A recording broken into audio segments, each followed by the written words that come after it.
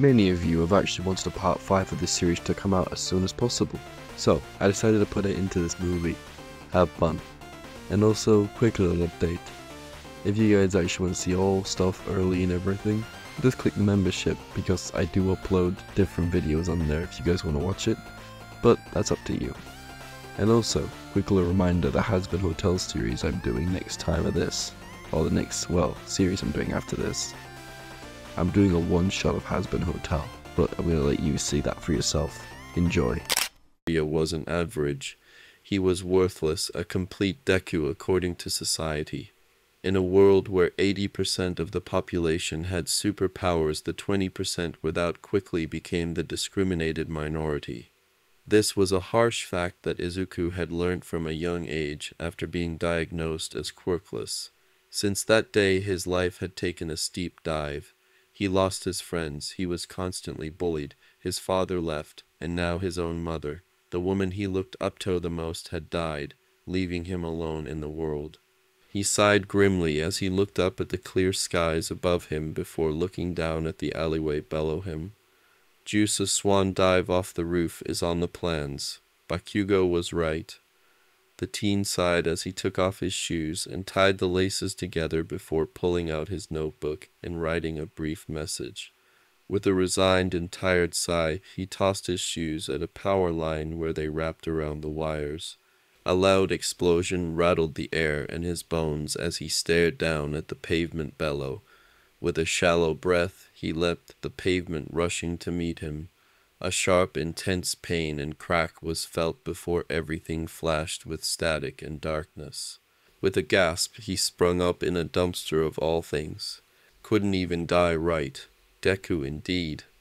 Izuku sighed to himself as he climbed out of the dumpster, only to realize a few things had changed. First being his skin was now a pale bluish white, and his uniform now had shredded cuffs.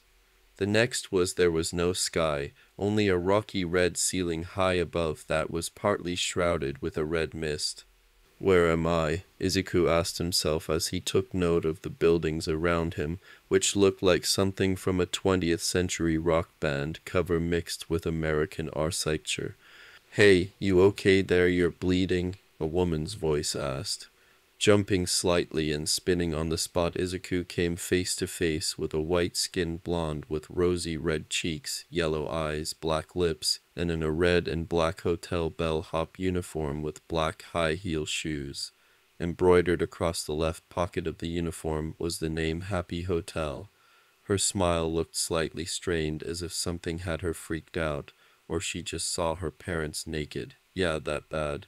Eh? Izuku muttered as he brought his hand to his head and felt something sticky there. Pulling his hand back revealed partially dried blood stuck to his fingers. You must have gotten caught up in the purge. Come on, let's get you fixed up. I'm Charlie, by the way. What's your name? The girl gave a grin filled with sharp fangs for teeth, but the nervousness never really left her eyes. Izuku Midoriya, nice to meet you the greenette replied as he allowed himself to be dragged along by the now definitely less worried Charlie. Um, where are we exactly? Hell, where else silly? Charlie giggled slightly, making Izuku stumble, and nearly dragged the blonde with him. You okay? H hell, I'm in hell. Izuku panicked, eyes wide in shock. Ah, new arrival then. Charlie nodded with a sympathetic smile. It takes getting used to. Well, apparently. I was born here, so just heresy and rumors. So, what did you do to end up here? I, I guess it's because I'm quirkless. Izuku sighed in resignation. I guess Bakugo was right. Quirkless freaks don't go to heaven. Wait, Quirkless. That's not a reason to end up here. Charlie stated with a confused frown. Look, let's get you back to the hotel. It's safer than out here. She stated as she eyed the currently empty street. While I believe in redemption, there are some not so nice folks around here.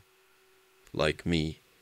A zombified looking, green haired man coughed violently on a cigarette as he slinked out of an alleyway, several random creatures behind him. Well, well, well, looks like it's my quirkless bastard of a son. He spat. Dee dad, Izuku squeaked in shock. What you do, steal from an old lady. The man snorted as flames flickered around his mouth. Oh no, this is bad, this is bad. Izuku panicked as he pulled Charlie away from his disease's father. So, what was it? The man scoffed. Whatever, still gonna charcoal your ass, you freak. Is that so? Charlie growled as she stopped forward. You'd attack your own son. He's quirkless? The man spat. You are sick. Charlie snarled as her eyes turned red, her nails lengthened into claws, and a pair of horns grew from her head. He is lost and confused, and you want to kill him. Uh, L look W, we were just joking. One of the creatures, the one that looked like a skinny humanoid frog, stuttered in panic. Sorry for T, the trouble, your majesty. TCH whatever. Izuku's father spat before storming off with false bravado, obviously unwilling to get into a fight with someone much more powerful than himself. You, um, what was all that? Izuku asked in shock. The hotel is just down the street. It'll be safer there. It's almost five anyway, and that's when they start trying to purge everyone. Charlie explained once her features returned to normal. Now come on, we should be able to get you all settled in quickly enough. Thanks. Izuku gave a strained smile as once more Charlie dragged him down the street. While this was happening, his mind was racing a million miles an hour, screaming that he should have just stayed in the dumpster. Of all the things Izuku had expected in life, a hotel located in hell was not one of them. Especially the in hell part, he was pretty sure he would have ended up in heaven or reincarnated or something. He had tried to be good and help others, but apparently it wasn't enough for the big guy upstairs. Vaggie, I've bought a guest. Charlie called as she shoved open the doors to the hotel and hurried Izuku inside. The inside was decorated in various shades of red and black in the style of a 1920s to 1960s high-end hotel with curtains. Sitting at a desk with boots up and reading a comic was a gray-skinned girl about his age with long fanned-out gray hair tied with a red bow, a white shirt that hung on only one shoulder, a red X instead of an eye and a small nose. Charlie, the woman smiled as she looked up only to freeze in fear before vaulting over the desk, drawing a spear from somewhere and holding the tip to Izuku's throat, all within a split second. No funny business, she growled. You Ump, put the spear down, please. Izuku gulped nervously as he held his hands in the air, Nervous sweat dripped down his face. Vaggie, relax, he's harmless, just got here too. Charlie smiled charmingly as she lowered Vaggie's spear. You know we don't attack guests. Unless they start it or it's Katie Killjoy. I know, I know my amor. Vaggie sighed as she slumped slightly before straightening herself up and looking at Izuku. Soy Vaggie equal ease two number. Er, Izuku gulped. Soy is um, nombro Izuku? he asked, butchering the Spanish language. Okay, never speak Spanish again. Vaggie deadpanned before turning to Vaggie. So, what's up with the nervous Cenobite? He's a new arrival. He had a small panic attack since someone told him all quirkless end up here. Charlie explained as she put a hand on Izuku's shoulder. His father is down here as a zombie. So, how was your life? Vaggie asked. You in a gang? Villain stole shit? No, nothing like that. Izuku gave a nervous chuckle. I was actually trying to be a hero and help people. Okay, how the hell did a cinnamon roll like him end up down here? Vaggie asked in complete deadpan and disbelief. A loud explosion sounded from somewhere within the hotel, making Izuku squeak in fear and drop to the floor shaking like a leaf. First of Baxter, Vaggie screamed as her girlfriend began to try and calm Izuku. Second off, what the actual fuck is wrong with him? Haven't seen someone react like that since Alastor and Angel Dust got bored. Sorry, Kacchan, sorry, Kacchan, sorry, Kacchan. Izuku kept muttering to himself in shock and fear. Green wisps of fire flickered about his hair, not that he noticed it.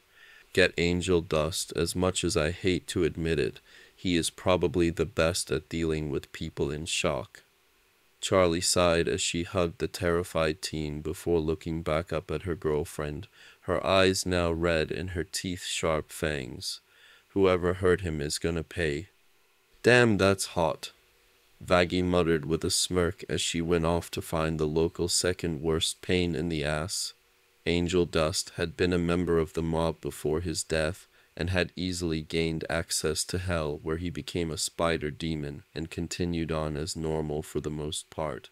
He was simultaneously the hotel's best and worst patient given how, while he could get better, he chose to be an utter asshole and sin almost as much as Alastor, if such a thing was possible, that is. Well, well, well, what do we have here?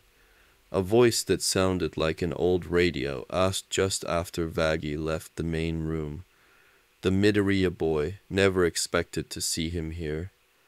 Alastor, you know him? Charlie asked in concern. Alastor was bad news, period. He was only kept around as a ditcherant to other troublemakers, and to keep the purges from being any worse than they already were. Of course I do. Alastor huffed, sounding offended as he tapped his microphone cane on the ground in front of him. He was on the fast track list to heaven, why he is here, well, that is a bit of a shocker. Suicide is a sin after all, and this kid done goofed. The radio demon gave a large fang-filled grin. What, why would he kill himself? Life is so precious. Charlie stated as she softly began to run Izuku's back in an attempt to calm him down and to make sure his flames didn't get out of control and destroy the hotel. Oh, a little angry Pomeranian gave him some bad advice about swan diving and roofs. Alastor waved it off. Point is expect Baxter times ten in a few decades. Anyway, I'm done being helpful, so I'm off to see what Nifty is up to, ta-ta. With a red wisp, the main pain in the ass was gone. Sorry, Kacchan, sorry, Kacchan, sorry, Kacchan.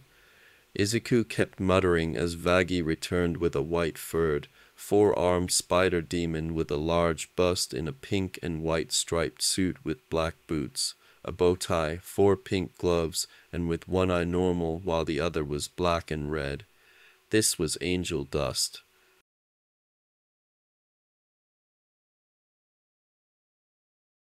Nervous breakdown, Vaggie stated. It was triggered by one of Baxter's explosions. Charlie stated from her spot next to the green haired team. Whoops, now I feel like I shouldn't have given the runt that gunpowder. Angel Dust smirked. So, who's the hottie? This is Izuku, butcher of Spanish. Vaggie stated with an eye roll. Now help him. Yikes, you're being more uptight than the Pope's asshole. Angel Dust snorted as he rolled over Izuku using his foot. Hmm, just mild shock toss him in a room. He'll be fine by dinner for Kane's sake. Need we remind you of our deal? Charlie asked with a raised eyebrow, making Angel sigh. Fine, fine, Ixnay on the explosives. Angel Dust muttered with a roll of his eyes while crossing his arms. So, if he just arrived in hell, how long ago did he die? On Earth. Momo Yaoyorozu was many things, rich, smart, flexible, and kind. However, she wasn't prepared to watch a teen little older than herself jump off of a building and land headfirst on the sidewalk, their head turning into a meaty pulp. For that reason alone, she quickly made a large barf bag and quickly found she filled it and two more before she could calm herself enough to think properly again. Someone called the doctors, she called as she rushed over to the green haired boy, hoping in all futility that he had somehow survived. Oh fuck. She gagged as she saw the brain matter littered amongst the growing pool of red. Little did she know, this one moment would be the tipping point that would lead to the change of her being from heaven to hell bound, as she saw a notebook handing off the edge of the railing, its cover burnt. Back in hell, Angel Dust shrugged uncaringly. Eh, who cares? Not like it'll have far reaching consequences. Momo growled in anger as she firmly placed the burnt notebook down onto her desk. Sections of the skin on her arms bubbled and sparkled as nesting dolls began to form and drop to the ground. The owner of the journal, one Izuku Midoriya, had been a brilliant analyst and his notes covered multiple ways to help improve on existing quirks and how to counter and in some cases permanently neutralize quirks and their wilders. In the entire book, there was only three that had permanent neutralization options written down, whereas everyone had a basic countering guide. The first of these was how to counter Endeavor should he ever go on a rampage, using household cleaning products to neutralize his fire quirk and make igniting himself a suicidal move. Then there was someone called a Eraserhead who could be stopped with a combination of various techniques and other non-quirk related methods due to the man's ability to negate the quirk of those he looked at. The final one was of a Bakugo Katsuki. This one was the largest set of notes with everything from use of deodorants, cement, full hand covering shackles, how to treat burns he inflicts, how to neutralize his sweat-based explosions with baking soda, signs of him snapping, and even his fighting style. It was easy to see the teen was the main bully to the former Izuku Midoriya.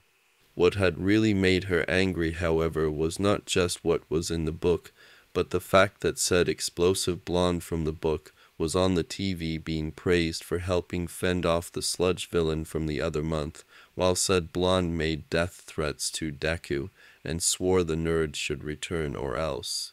The mere fact the teen had the audacity to say he was the hero was what had set her off. With a frustrated huff, she sat down in her chair, turning the TV off and opening the drawer attached to her desk. Inside was the usual a few pieces of paper, pens and correction liquid, and paper clips. Then there was the small puzzle box her parents had given her for her last birthday.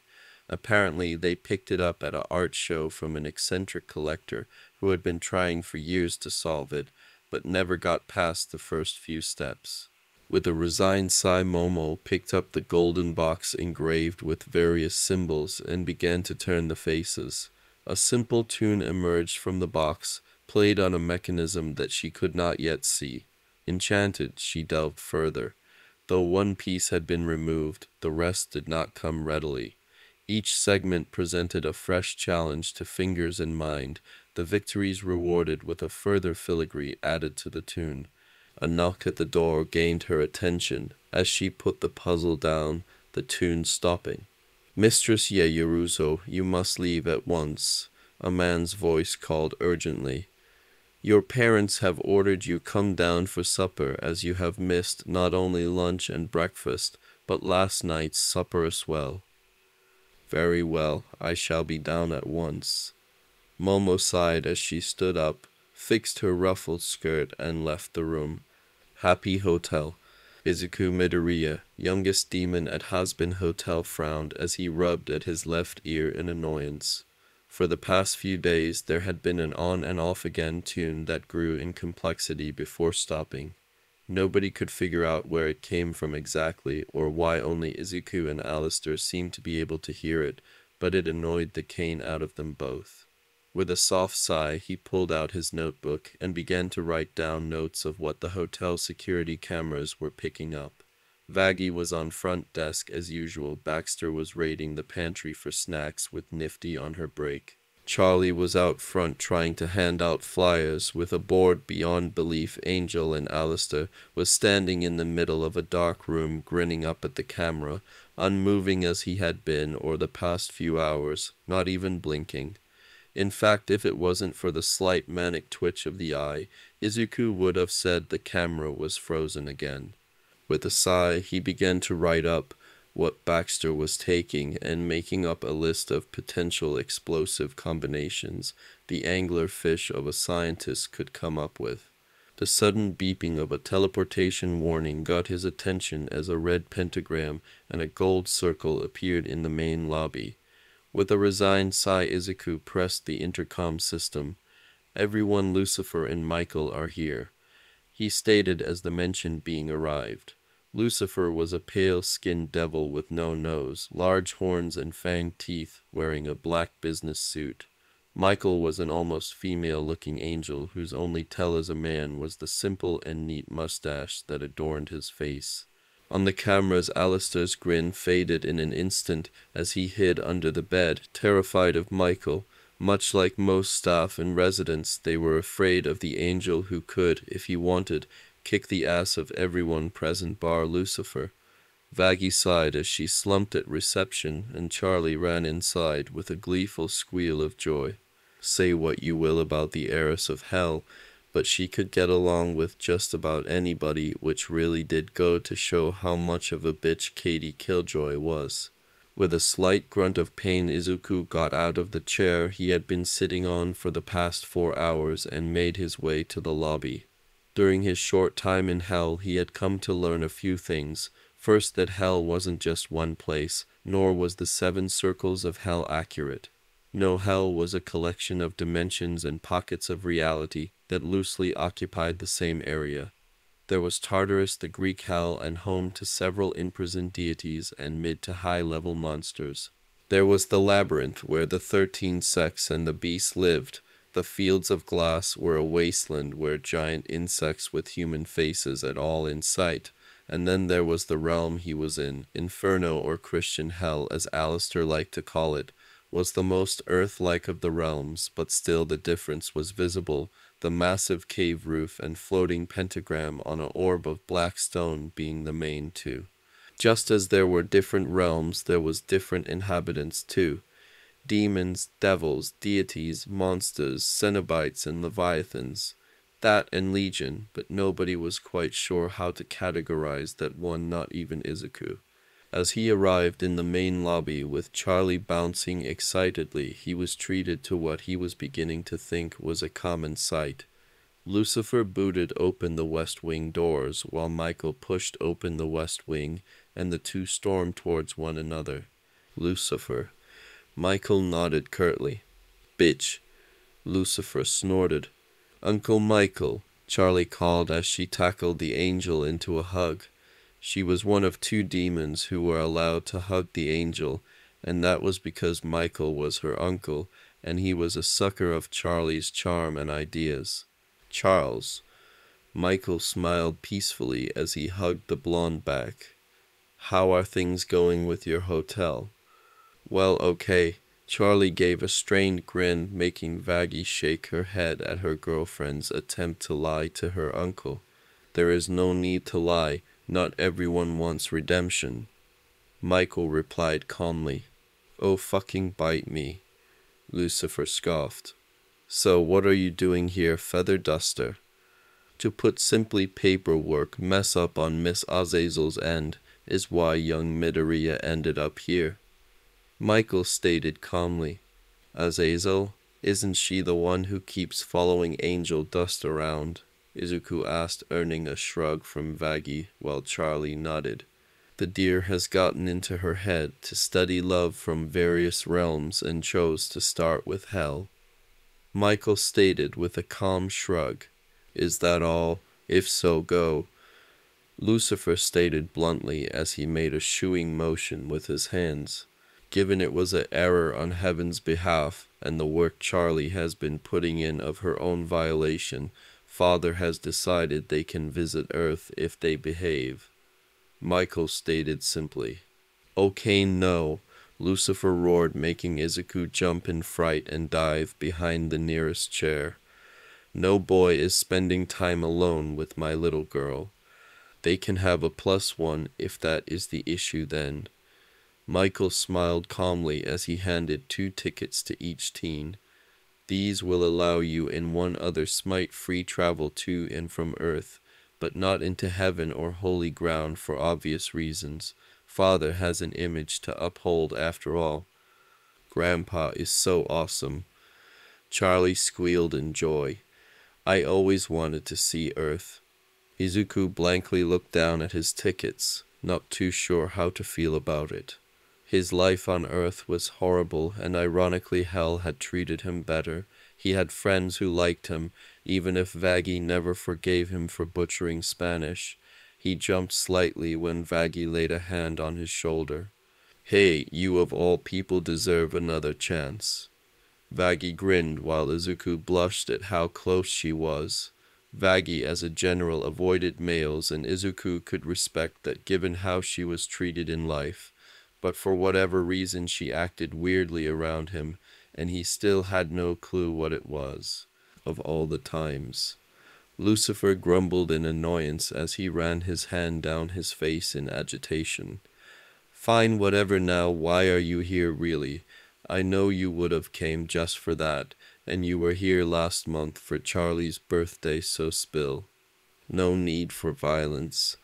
Michael placated and a disarming smile. The main reason I'm here is paperwork transfers. Lucifer growled in annoyance as a pair of files appeared in front of him. Cane damned paperwork. He growled as he snatched the floating folders from the air. Both were a simple tan-colored folder filled with white sheets of paper. In one corner the words, In Father We Trust, was stamped above a holy cross, while in the opposite corner the words, Hail Satan, imposed over a pentagram, was stamped along with the usual transference symbol of a sideways crucifix within a circle. One was labeled Midoriya, the other Yaoyorozu. Izuku paced nervously about his room as he double and triple checked he had everything sorted. Book cabinet locked, laptop in his bag, TV off, clothes packed, and importantly tickets in his pocket. It had taken a few weeks for things to settle down, so to speak, after Michael's last visit. Of course it couldn't fully. It was hell after all. The ones going were Charlie, himself, Vaggie and surprisingly a human. Flashback, four days ago.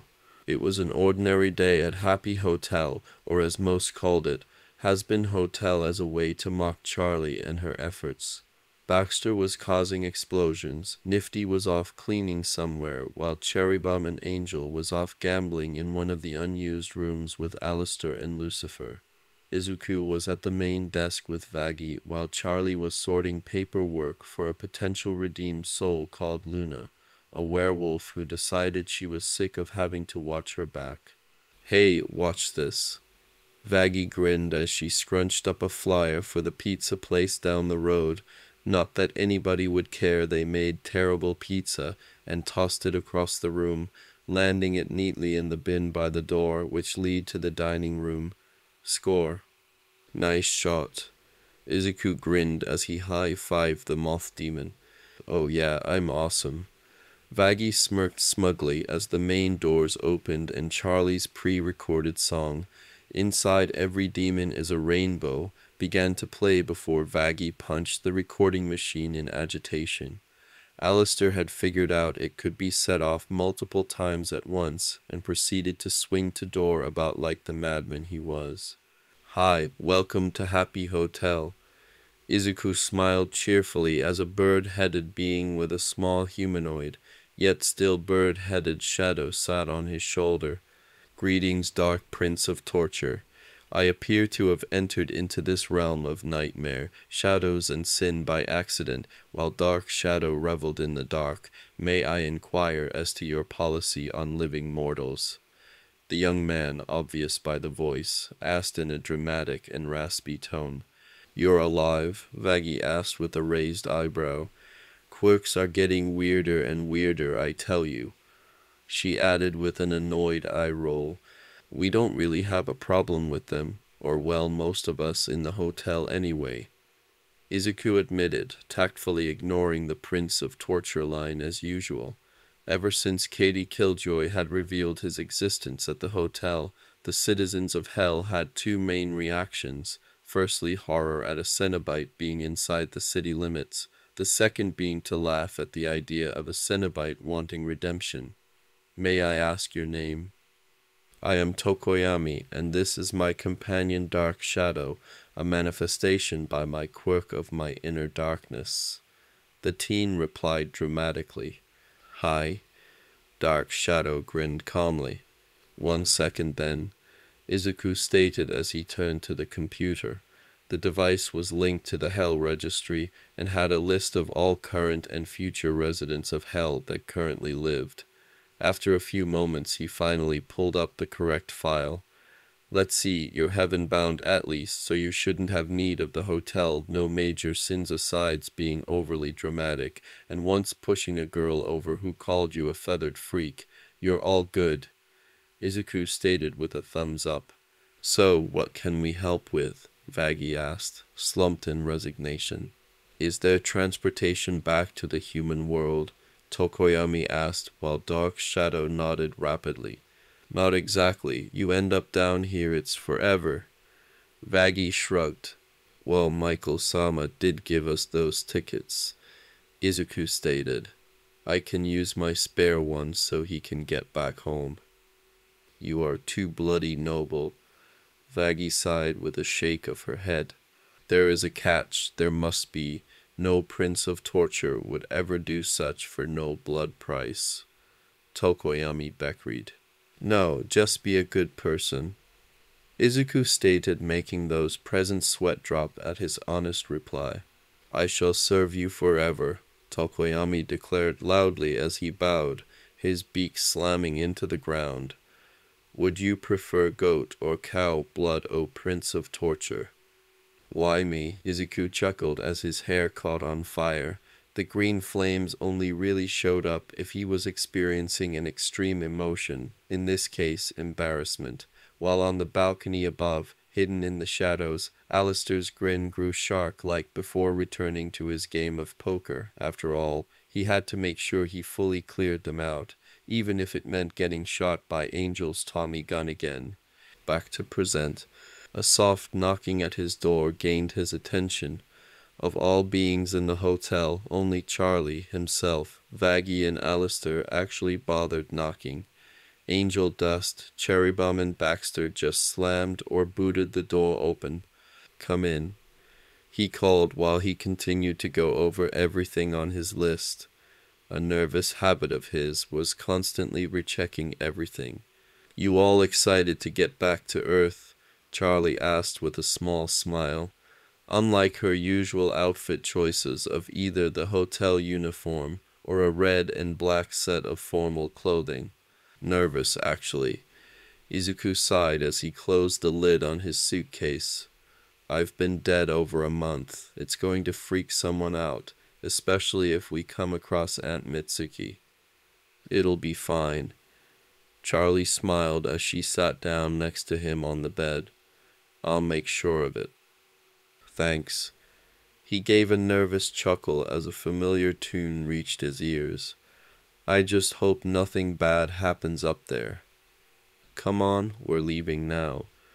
Charlie smiled as she got up with a skip in her step I can't wait to see what Earth has to hold on Earth. Momo could only shake in fear at the beings that came out of the shadows. The music box puzzle had been a trap, a horrible trap. Even the smallest of them had shrugged off being shot by the security on the grounds, and the less said about what they did with the staff she made using her quirk the better. She ran downstairs, hoping to get out of the house and hopefully away from the creatures that appeared. Abruptly she stopped at the bottom of the stairs. Her parents, mangled, bloodied, and twisted almost beyond recognition, laid in a growing pool of blood. Her mother's diamond nails quirk still active. Standing above them was a tall figure with pale bluish-white skin, eyes as black as ink. Their body was covered in scars from cuts, punctures, burns, and other unidentified wounds and means. Their body was wrapped in glossy black leather and chains, with six bloody rectangles cut through it and the being's chest. Since that day his life had taken a steep dive. He lost his friends, he was constantly bullied, his father left, and now his own mother, the woman he looked up to the most, had died, leaving him alone in the world. Izuku, Charlie, Vaggie, and Tokoyami could only scream as they were flung through a vortex of red and black, while shadows clawed at the corner of their vision. Their luggage gripped tightly in their hands, while Dark Shadow gave a very feminine scream of exhilaration, clutching to Tokoyami's shoulders with an unhinged gleam in its eyes. With a sudden thump, they found themselves slamming into a large bed with messy sheets. A bronze puzzle box twisted into a small monolith sat discarded on the middle, the door wide open and a chair tipped haphazardly in the way. This isn't my house. Tokoyami groaned as he shook his head as if to lessen the dizziness he was experiencing. Then, where are we? Charlie asked as she looked around before noticing the puzzle box. Oh no. Fuck. Vaggie agreed as she summoned her usual spear. Um, what is that? Izuku asked as he went to pick up the puzzle box only to receive a small shock. Oh, a lament configuration. Tokoyami stated in shock, his eyes wide. This place is not safe. As if to cement his statement, a scream was heard from downstairs. Without thinking, Izuku charged out the room, ignoring both Vaggie and Charlie's words of caution, as the door locked behind him and Tokoyami continued to eye the corners of the room with distrust, his frown deepening as something moved in the shadows. Coming down the stairs, Izuku almost puked at the sight before him. Two dead people in a pool of growing blood as a being from one of the hells dragged a busty black-haired girl closer to him using a chain wrapped around her throat. She struggled, her hands gripping and pulling the chain, even as they bled, while her feet slowly slid forwards, unable to gain a foothold on the bloody carpet. Let her go, Izuku shouted as he jumped at the young woman and tried to help her pull against the chain. You have no business here, young prince. The being spat in anger. She has opened the gateway, and I shall claim my price. The cane you will, Izuku shouted as he grabbed at the chain and began to pull. The lynx began to groan in protest as a sickly emerald fire included his entire skull, revealing the bone underneath as a pair of curved horns grew atop his skull. A mere flame. The child is but a flame user. The being gave a loud, cruel laugh as he still casually dragged the chain closer. How unimpressive. Yeah, fuck you too. Izuku snarled, his voice raspy as the chain began to glow first orange, then white before with a final groan and shriek it snapped making the two stumble slightly while the being remained unaffected. Get your cane damned ass back to whatever area of hell you came from now. The being frowned slightly, dipping his nail-covered head. Very well, I cannot go against the wishes of her highness's family, but know this, I will return. They spat before fading into the shadows of the room. Are you okay? Izuku asked the girl who sunk to her knees, shaking fearfully. A nasty red cut circled her throat and jagged cuts marred her hands. Crouching down in the blood, Izuku put his skeletal hands on the girl's shoulders in concern as she stared ahead blankly. Izuku, Charlie called as she rushed down the stairs, a sparking puzzle in her hands with Tokoyami and Vaggie fighting off a weird beast that clung upside down from the walls using its legs.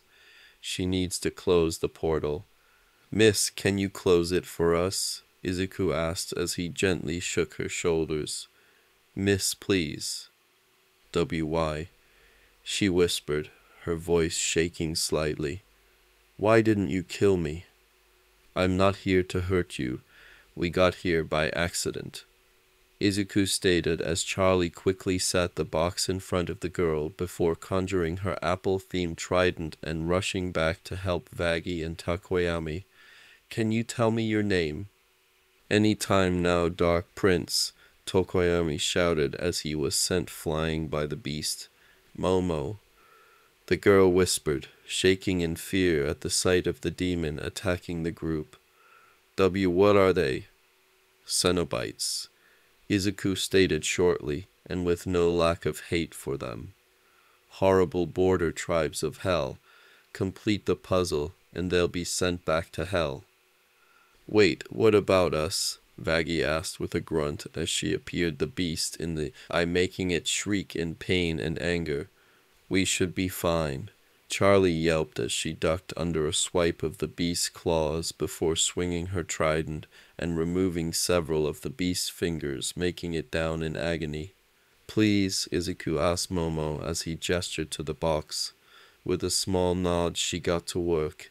Each successful move yielded one less layer to the song which hung in the air, its innocent tune turned sinister by the events it had heralded. How can it send us back, child? We are already here, and now so are you. A mocking and broken voice came from the corner of the room, a being with no lips and barbed wire fusing the nose and eyes wide open snarled. Their form was impossible to distinguish as either male or female, and clad in a suit of black leather, six bloody poles pierces the chest at random intervals with a butcher's hook lodged into the ribs, holding them apart. Touch her, and I'll rip you to shreds. Izuku growled as the fire surrounding him grew in intensity. Yet another piece fell into place as Momo quickened her pace, not wanting the events to last any longer. The Order of Gash. Tokoyami gasped in shock as he tried to pull himself from the crater in the wall. The being turned its attention to the bird-headed teen, tilting its head in curiosity before returning its game to Izuku. We have such pleasures to share if but the girl is given to us, young one. Yeah, right, I'm not like you. Izuku spat before Ri, hurling a fireball at the demon who didn't flinch as the green fire quickly ate away at the leather and the left side of its torso. The fire soon died down, leaving charred bones and burnt flesh covered in melted leather like cheese on a burger that had been cooked for too long. You are a Cenobite, whether you admit to it or not. The flesh does not lie. The being snarled as another part of the tune disappeared from the melody of the music box. No, I'm not a monster. Izuku snarled as several ropes of barbed wire shot from the darkness and wrapped around him. They soon grew red with heat before melting off of him into puddles of iron on the floor. I am a hero. Foolish. The Cenobite snapped as more wire flew at Izuku, all of it melting away as the teenage demon grew closer. A hero never gives up, Izuku shouted as he slugged the Cenobite in the jaw, melting half its head and sending it flying across the room and into the TV, smashing the screen. I will become a hero people can look up to. I will be like All Might and show people they don't need to fear for I am here. He shouted with his raspy voice, his fire glowing intense enough the Momo had to shield her eyes as the cube's pieces finally slid back into position, the Cenobite snarling as it pulled itself from the TV and gave a scream of utter rage which echoed from several locations around the room, whether it was its own scream or the scream of others was impossible to tell.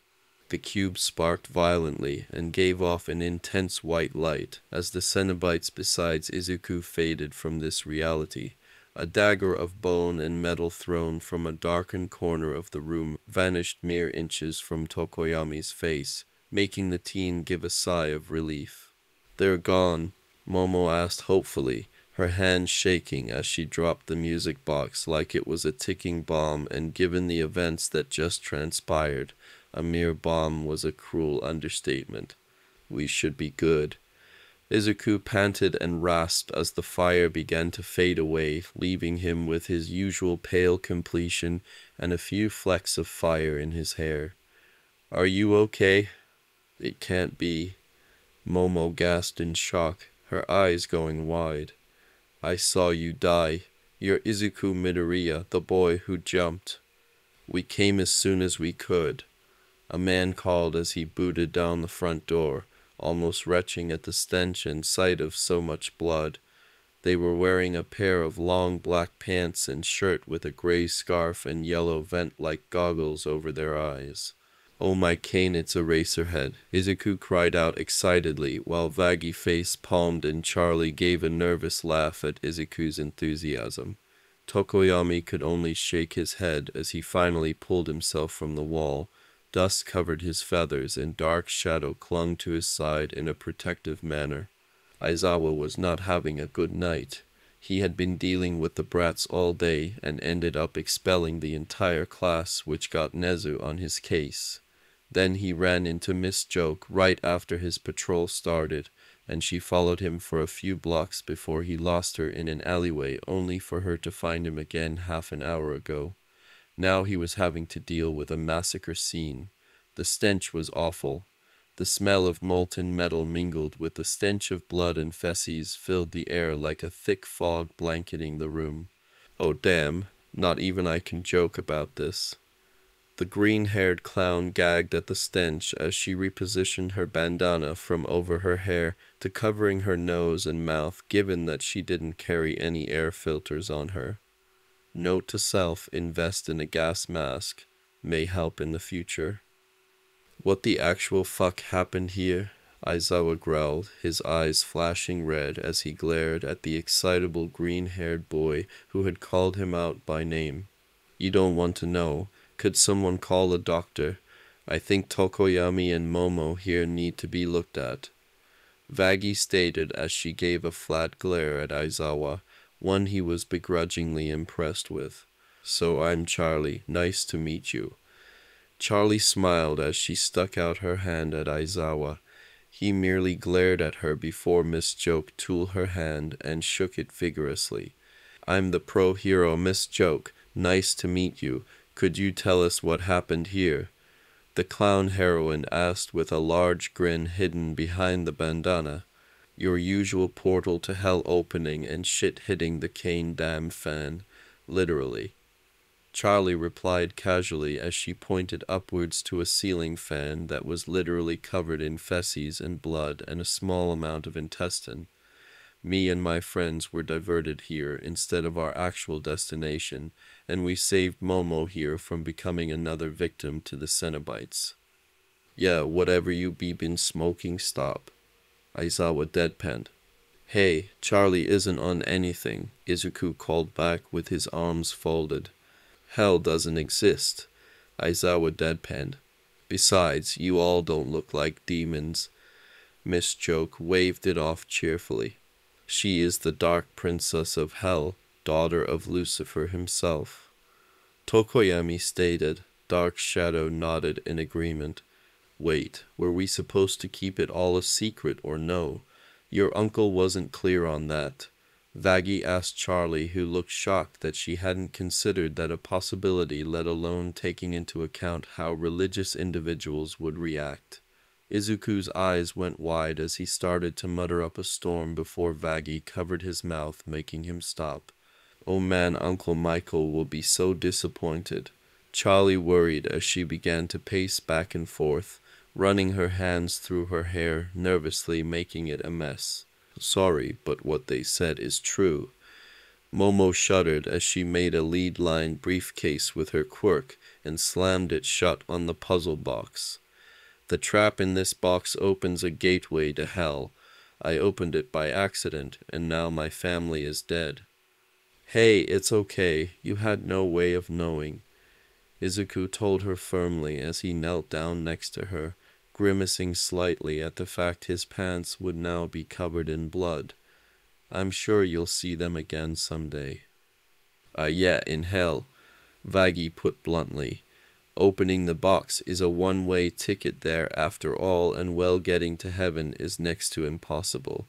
Stairway to heaven and highway to hell and all that crap. Wait, seriously? Huh.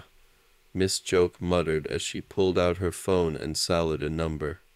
Hey, it's Emmy. Could you have a cleanup crew, paramedics, and police to that big ass mansion in the HI prefecture, the one with the big white wall around it? It's a mess. One survivor and four who got caught up in it all by accident. No, they're alive too.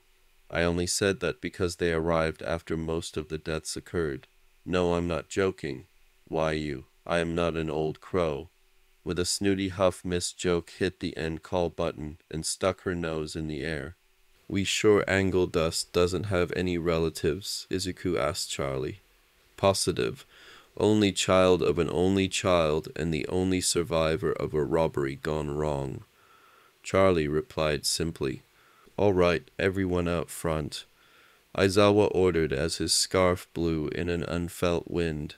With a resigned Saivagi and Charlie followed out Izuku, who was helping Momo along, while Miss Joke helped Dark Shadow stop Tokoyami from falling over. The front of the mansion was no better than inside.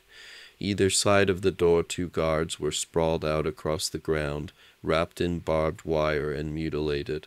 One looked to be a base human, asides a pair of now shredded bee wings protruding from her shoulders while the other looked like a humanoid warthog. Oh God. Momo gagged as she struggled to hold her stomach down. T, they had family. Cain damned sadists. Izuku spat as he lead Momo away from the bodies, purposefully moving to block her line of sight to the third body barely sticking out of the bushes. And I, though Voorhees was a messy killer. Charlie frowned in distaste. They could have at least made the kills painless or quick. This was neither. Tokoyami nodded in agreement with a frown. His arms crossed over his chest as Dark Shadow's form grew from wisp to humanoid in the darkness. Such mad revelry and partaking of sadistic torment is not fit for such a world. Enough with the hell skit already. Aizawa grunted as a distant sound of police sirens could be heard growing closer. There is no such place.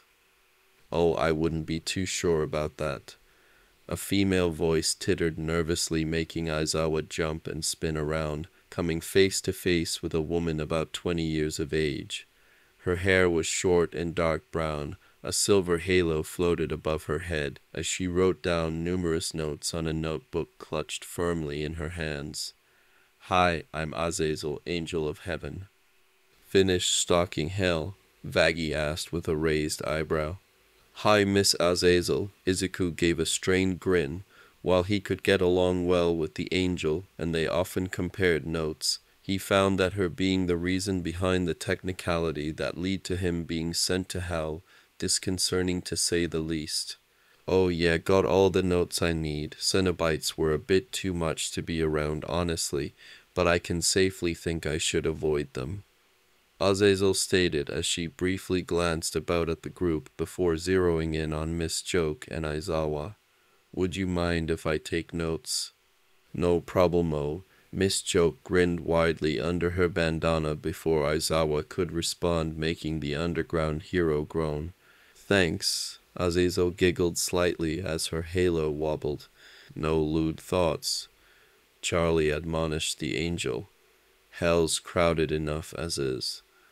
Sorry. Azazel squeaked in embarrassment as her face turned as red as a tomato, which she promptly hid behind her notepad. Why do I have a feeling you lot are going to be a problem? Aizawa sighed in frustration as he rubbed at his eyes. So anyway, why are you all here? Miss Joke asked. Here to enslave humanity. Tempting but too much work. Vaggie waved it off. Got into hell due to a filing error. Izuku shrugged. I just want to be a hero who helps people with a smile like All Might. I believe everybody deserves another chance. Charlie shrugged with a cheerful grin. Inside every demon is a. No, Vaggie and Izuku cried in fear as they both put a hand over Charlie's mouth. Having been on the door shift more often than not for the past few weeks, both were well and truly sick of that song, Mad Revelry in the Darkness. Tokoyami stated shortly while Dark Shadow nodded in agreement. Enough, stop pandering to their delusions, Emmy. Aizawa sighed in agitation. You called me Emmy. The heroine squealed in joy. The present teens couldn't help but snigger slightly at this, even Momo. Fascinating. Azazel muttered attentively as she took more notes. Please let it be Tsukauchi's shift tonight. Aizawa sighed as the police cars were finally visible from down the street.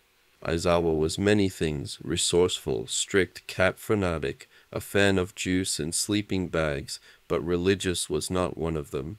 He kept repeating the mantra to himself, but the fact there was literal demons and an angel in the interrogation room at the police station was starting to get to him.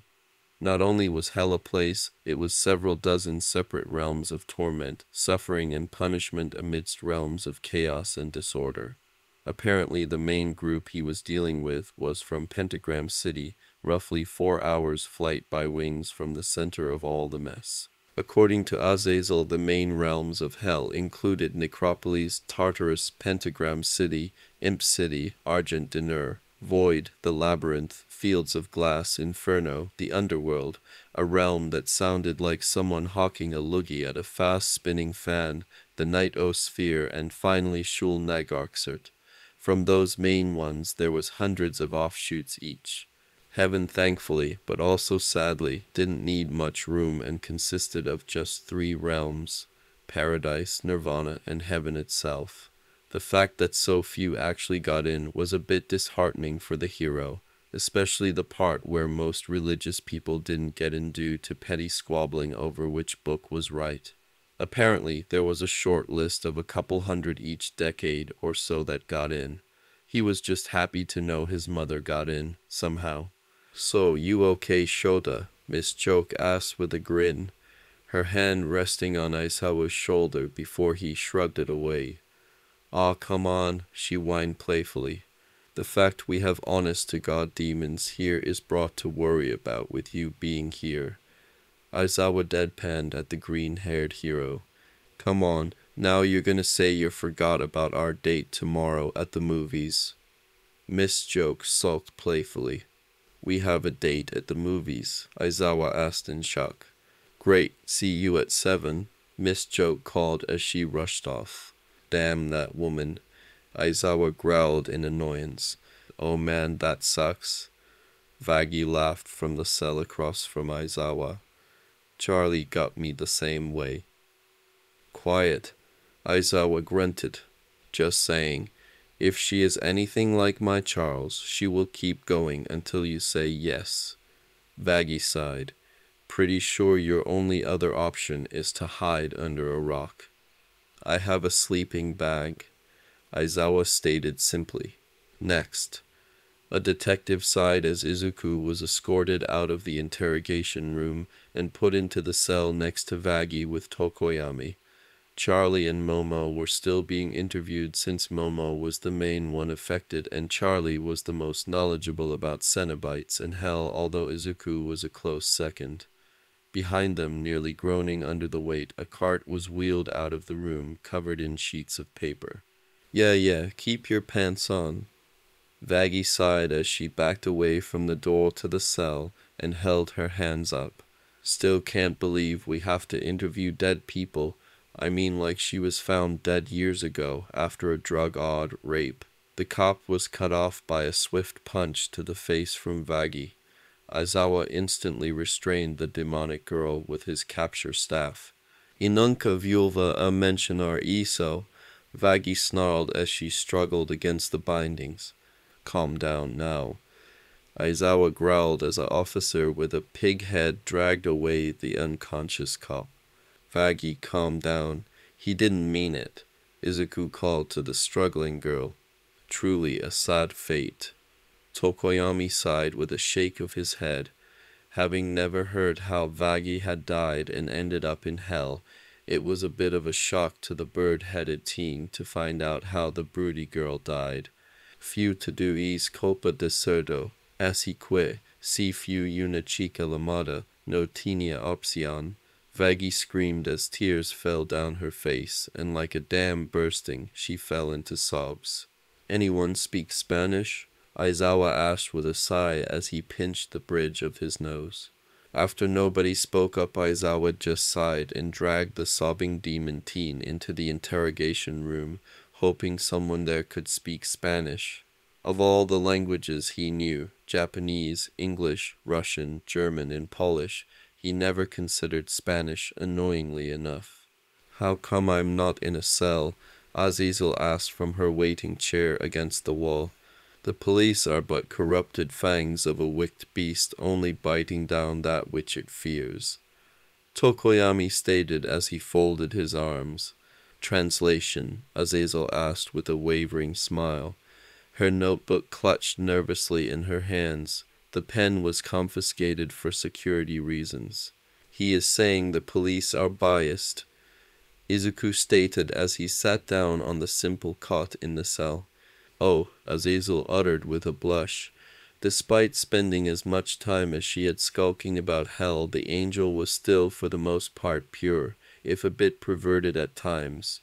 Apparently she had been banned from Shul Nagarksert after she annoyed too many demons with her questions, which was saying something for the city of forbidden knowledge. Tokoyami, your parents will be here to pick you up in half an hour. One of the officers called as they stuck their head out of one of the side offices. Dark forces are cruel and unusual with their punishments. Tokoyami slumped in defeat. Suffocation seems assured. Hug happy parents? Izuku asked with a soft smile. Tokoyami seemed to blush slightly before giving a small, short nod. Be before her death my mum was like that too. May she rest on eternally. Tokoyami stated with his head bowed. So, what's her name, your mother I mean? Azazel asked, and she absently tapped at her notebook. Oh, she's Inko Midoriya. Do you know her? Izuku asked hopefully. Azazel only turned pale as a sheet and let out a strangled yelp before her eyes rolled back and she passed out cold.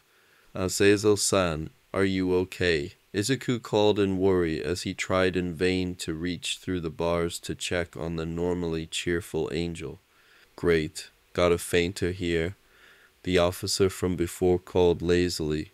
A few moments later, a tall woman with white hair and a single blank eye sighed as she walked over. She placed her hand over Azazel's head and jerked back as Azazel shot up with a squeal of shock. Marvin, you owe me ten bucks. The officer called as she wandered off the way she came, trying to ignore Izuku's mutterings about her quirk. All it did was give her the ability to wake people up, and gave her only a gray eye that let her see better in the dark. That was it. Gambling is a sin. Azazel stated softly as the officer walked away, snapping Izuku from his mumbling rant. So, uh, why did you freak out about my mum? Izuku asked. No reason, none whatsoever, no, sir. Azazel pelted out in panic as she tucker her legs up to her chin and began to rock slightly on the spot while mumbling, Never anger, green lady, never anger, green lady. Yeah, that's mum all right. Izuku gave a nervous chuckle as he rubbed the back of his head. His mum was a downright lovely lady and would go above and beyond to make people happy, but Cain forbid you made her mad. He had only seen it twice. The first was when his father tried to abuse him for being quirkless. Officially he left. Unofficially the man got an early trip to hell. The next had been when a man with a potato-like face had tried to demand something from her. He had no clue to the specifics of the conversation, only that the man fled using a purple portal in a hurry with half the kitchen cutlery being flung after him by the irate mother. All right, this is ridiculous. Momo huffed as she was lead to the cell Vaggie had occupied and shut in, a pair of quirk-negating cuffs on her wrists as an officer slid the briefcase containing the lament configuration into the cell with her. I keep telling you to destroy it. It is just a puzzle box. The officer sighed in annoyance, probably having said it a dozen times.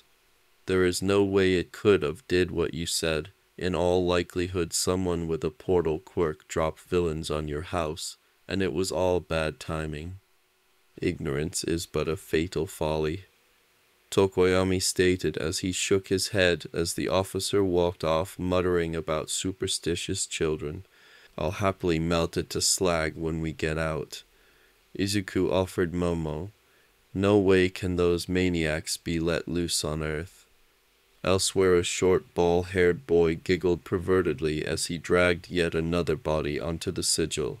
His parents were the first to go, then Kirishima, and that old man who always stopped him peeping on the girls' locker room. His hair balls, as it turned out, if microwaved, would shirk, but rapidly returned to their proper size of four inch diameter when wet, so sneaking them into the food of his targets had been easy. As he dropped the final body, the sigil flashed and the lights went out. You are not my Izu-kun, his screams of pain were heard by no one, and the bodies weren't found for another six days until the smell leaked out.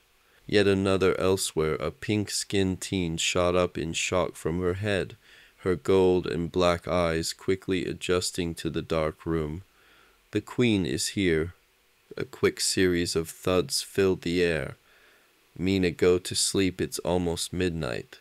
Sorry, Dad. Of all things Charlie was expecting Earth to be like, a near replica of Hell Minus, the religious iconography, stone ceiling, and fire, wasn't it? In fact, the streets seemed to be cleaner in Helicides, the back alleys they would pass on occasion. Momo being the sole survivor of the Cenobite attack on her family, and the last remaining Yaoyorozu, was set to inherit her family's business of hero gear and support item manufacturing, so she had talked at the police station with her family lawyer, who would try to sort everything out for her. Tokoyami was being escorted home by his parents, and that left the residents of Hell, a love-obsessed angel and Momo to be escorted by Aizawa, it was almost midnight when a bus arrived at the station being driven by a short old lady who was using stacks of books to reach the pedals. A large syringe-like cane sat to her side. After being piled onto the bus, the old lady took off like a bat from hell for a distant H-shaped building. So, where are we headed? Izuku finally asked while Azazel and Momo were discussing ways to destroy the lament configuration without causing an explosion. U.A. Academy, young man. The lady stated simply as they slowed to a stop at some traffic lights. U.A. Academy, as in the best hero school in Japan. Izuku cried out excitedly as green flames sparked from his hair. Calm down, Aizawa grunted, partly annoyed that his quirk had no effect on demonic abilities, and thus couldn't shut down Izuku's fire. For all I care, you'll still be out on your ass by the end of the night. Technically it's morning, Charlie asked as she motioned to the digital clock attached to the bus's radio. Indeed, it was showing 12.01 m. Quiet. Aizawa grunted in annoyance only to wince in pain as the old lady whacked his across the back of his head with a cane. Don't you complain, mister go to bed at the crack of dawn. I've been up since six this morning dealing with Mirio and Nejire's antics. How they managed to dislocate both shoulders just by walking is a bloody mystery. The old lady grumbled as they pulled up to the gate to U.A. as the main gate slowly opened. Not like you have classes for the rest of the year asides Fridays now anyway. They had zero potential, Aizawa explained bluntly. Wow, and I thought heaven was strict. Azazel muttered softly as she wrote another couple lines of notes. Wonder if my uncle still works there. Vaggie muttered. Your uncle? Izuku asked uncertainly, after all, Vaggie had stated a few times how her family had treated her. Hisashi is technically a fifth cousin twice removed, but it's easier to call him uncle. Vaggie shrugged it off. Momo cast her a sidelong glance from the other rows on the bus before going back to trying to figure out how to destroy the puzzle effectively. Great, more family. Aizawa sighed as he hit his head against the pole in front of his seat. With a lurch, the bus finally continued on its way to the main campus of the school, specifically Gym Gamma, where more staff were waiting, many of whom were looking annoyed at being woken up at the ungodly hour. Everybody off. The elderly woman smiled softly as she pulled the handbrake and opened the door. You too, Aizawa, you're not sleeping on the bus again. Make me. The hero deadpanned. The threat of a raise king quickly got him moving, however. Fine, he huffed. Welcome to U.A. Academy. Am I a mouse, a cat, a bear? Nobody knows, but I am Nezu, the principal of Yuan. All items of otherworldly nature need to be checked over before you enter, though, just for safety. The small man bear mouse cat thing called in a cheerful tone. You can't seriously believe the demon skit, can you? A block-headed man grunted tiredly. Oh, oh, introductions, Charlie sang happily. Oh, great, she's singing again. Izuku sighed. Charlie, please no singing, it's too late. The blonde stopped and pouted before giving a resigned sigh and nodding. Wow, look at that. Vaggie smiled. You got her to stop singing before she started, and without kissing her. At that Izuku blushed and his hair burst into flames. It's not like that, he squeaked. Hey, no need for that. Charlie admonished them. I'm Charlie. The other blonde is my girlfriend Vaggie. The blushing green-haired kid is Izuku. She is Momo, and that is Azazel. She finished painting to Azazel who was behind Cementoss and taking notes. The block-headed man jumped in fright, clutching at his chest as his heart skipped a beat. Hi, I'm Azazel. The angel smiled nervously as she got behind her notebook. I am a fan of your architecture. My house in heaven is modeled after it. Can I have an autograph? She asked, holding out the notebook and her pen that Momo made for her before since she never got back the one that was confiscated. Ah, uh, sure. The hero muttered in cautious confusion as he signed the book. With a squeal of joy, it was snatched back, and the angel held it to her chest, while her face turned bright red and her halo wobbled. Off track. Nezu stated simply as he gestured to a table to the side. All non-clothing items there, please. Oh, sure, Izuku stated as he turned out his pockets, putting down his ticket. A few spare coins from hell, a pencil, two notebooks, an eraser, a bobble-head of Katie Killjoy that looked like it had been used for fireball practice, and half a stick of gum before putting his suitcase of clothes on it too. Vaggie just rolled her eyes and placed her suitcase and spear on the table, ignoring the shocked and horrified look her normally very vocal cousin was giving her. The blond human was for once in his life speechless. Charlie simply put down her suitcase and trident before Vaggie cleared her throat. With a sigh, the princess also put down her phone. Momo cautiously put down the suitcase containing the lament configuration and using her quirk quickly made a roll of hazard tape and wrapped the box in it. And in there, Nezu asked as he gestured to the now bright yellow case, a gateway to hell that will summon some of the nastiest pieces of work you'll never conceive or believe of being capable. Izuku stated solemnly, We just got out of dealing with them earlier. I, if it is all right, may I share with someone for the foreseeable future? Momo asked hesitantly. That would depend on whom you are asking about. I cannot allow you to share the room with a teacher after all. Nezu stated seriously, You can think with us. Charlie stated softly as she pulled Izuku and Vaggie to her side, making both blush brightly at the close contact and what was being said. I mean no offense. Momo trained off looking uncertain. Charles, she just had a run-in with border demons. She doesn't need to bunk with the more powerful versions. Vaggie stated simply as she slung her arm over her girlfriend's shoulder while Izuku tried to slink off. Where do you think you're going? Tea to bed. The green-haired demon asked nervously, his face still beat red. We don't know which room the three of us are in.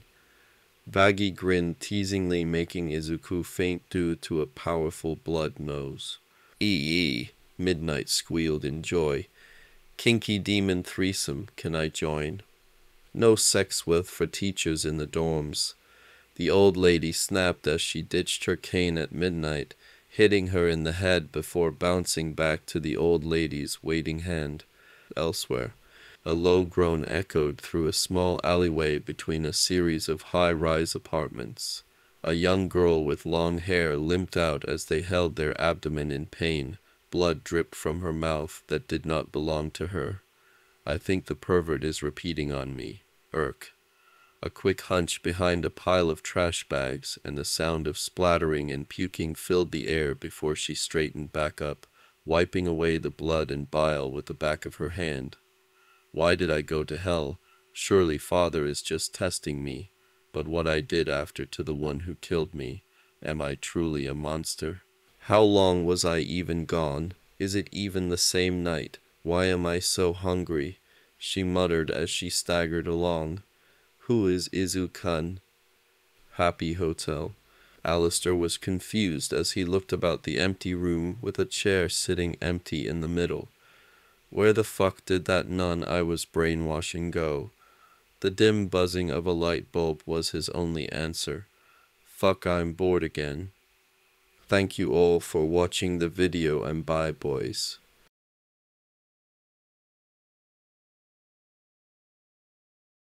Achievement. The fact Charlie seemed to keep going was just the icing on the cake.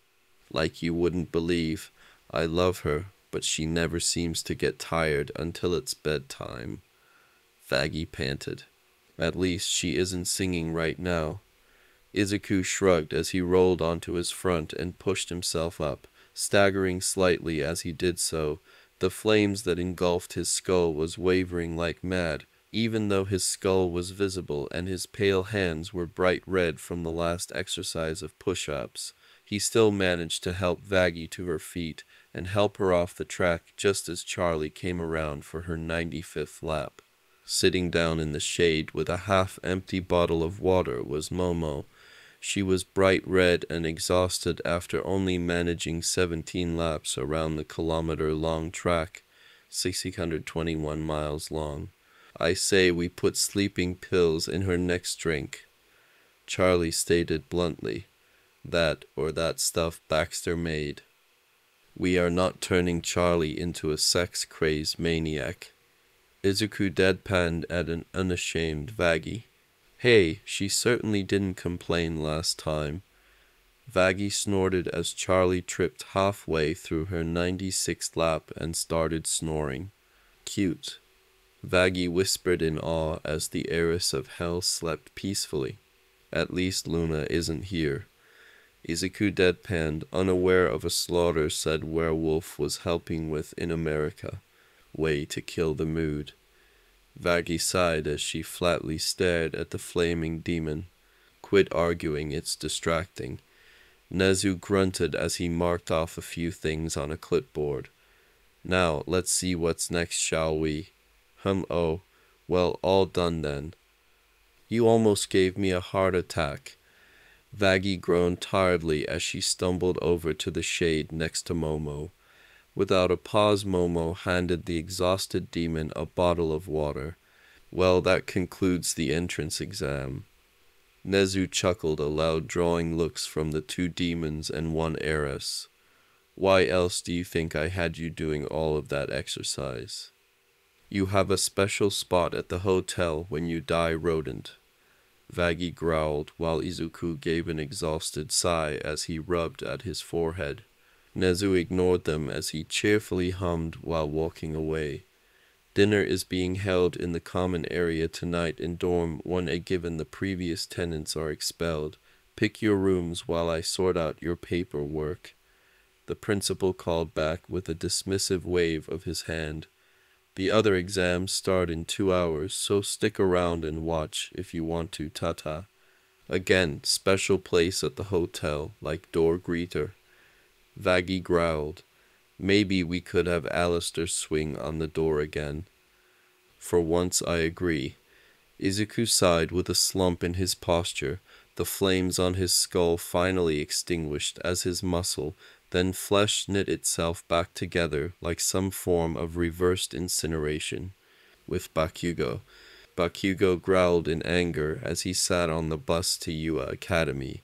Stupid bitch of a mother, stupid father, stupid fucking Deku for jumping.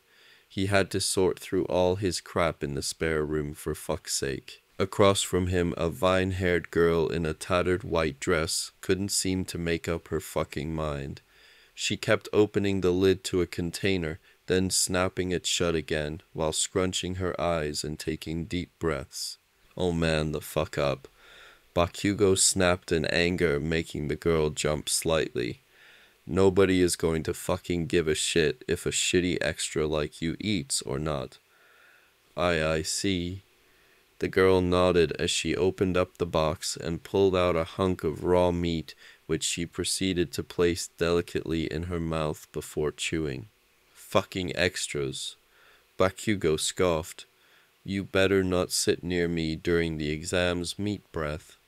I'm sorry, I can't help it. The girl muttered around the meat, blood dripping down her chin, which she quickly wiped away using a vine. Bakugo barely noticed that the vine itself was covered in a lot of dried blood. If it didn't involve killing villains, himself or his mother, he didn't tend to notice anything. Further down the bus and out of sight, a pink skinned girl sniffed the air curiously before looking around, trying to figure out what smelt so good. Whatever. Bakugo scoffed as he stood up. Move your shitty ass tree face, we're here. I have a name, you know. The girl sighed as she packed away the small box into a bag filled with several more boxes. While she did regret killing the pervert, her vines demanded substance and better a sinner than a saint. And I don't care. Bakugo scoffed as he watched ahead the bus jolting slightly as it passed over the Uebara, which when retracted was little more than a speed bump. When it comes down to it, I'll be number one, not some extra. Elsewhere, Nemuri grinned in anticipation at the being standing before her. Lucifer grinned back at the woman laying before him, legs spread wide. His wife Lilith licked her lips next to him as she massaged at his shoulders. Do we have a deal? Nemuri asked. For sure, my dear. Lilith smirked as she sauntered over to the purple haired woman. One night with us in exchange for some of that lovely shampoo your company makes without having to break the bank, so to speak. Kinky demon threesome for the win. Nemuri cheered as she pulled Lilith onto the bed. Lucifer's grin grew. That is some kinky shit. Redacted. Nemuri twitched slightly as she laid on the bed, basking in the afterglow, while Lucifer laid to her left smoking a cigar. Lilith on her right was passed out with a content grin. Well, my dear, in advance, welcome to hell. Lucifer grinned. Worth it. Nemuri grinned before a knock was heard at the door. Nemuri, hurry up. We have an exam to grade. Snipe called from the other side of the door. Nemuri bolted up in shock. Time flies when you have fun. Lucifer chuckled as he picked up his wife and vanished in a puff of red. One minute, I need to get dressed, she called as she bolted for her cupboard. Too much information, Snipe shouted before storming off. Fuck, Nezu is going to kill me. Nemuri panicked as she struggled to put on her leotard. Back with Bakugo. The explosive blonde growled in anger as he waited in exam area B for the test to start. Some blue-haired brat wouldn't leave him be, and it was getting on his nerves. At least the vine-haired extra wasn't around. The gates opened with a grinding clunk. Without waiting, he shot through using his explosion, uncaring that he took one examinee's arm clean off or burnt the face of a brown haired girl with a bob cut, a burn that would ultimately leave a scar over her left eye. What are you waiting for? There's no countdowns in real life. Go, go, go. Examinee 1E329 and 1E372, we have medical bots on the way. Present Mic called out over the PA system. I'll continue.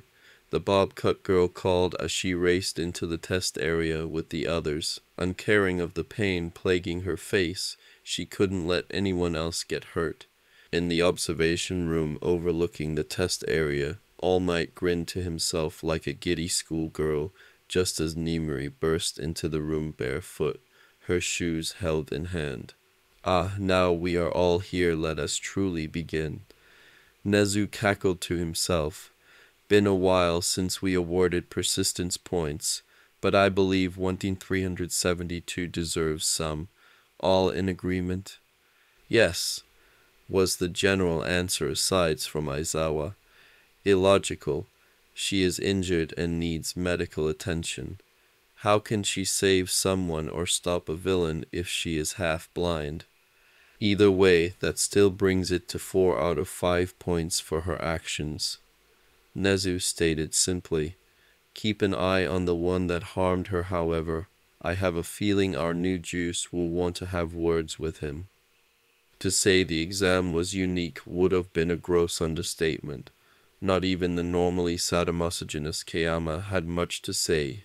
One girl was fighting with half her face burnt, the blonde who did it was berserking on the robots, and a vine-haired girl was racking up points fast enough that the robot's secondary programming to go after the largest threat had overloaded causing them to go to the nearest source of noise.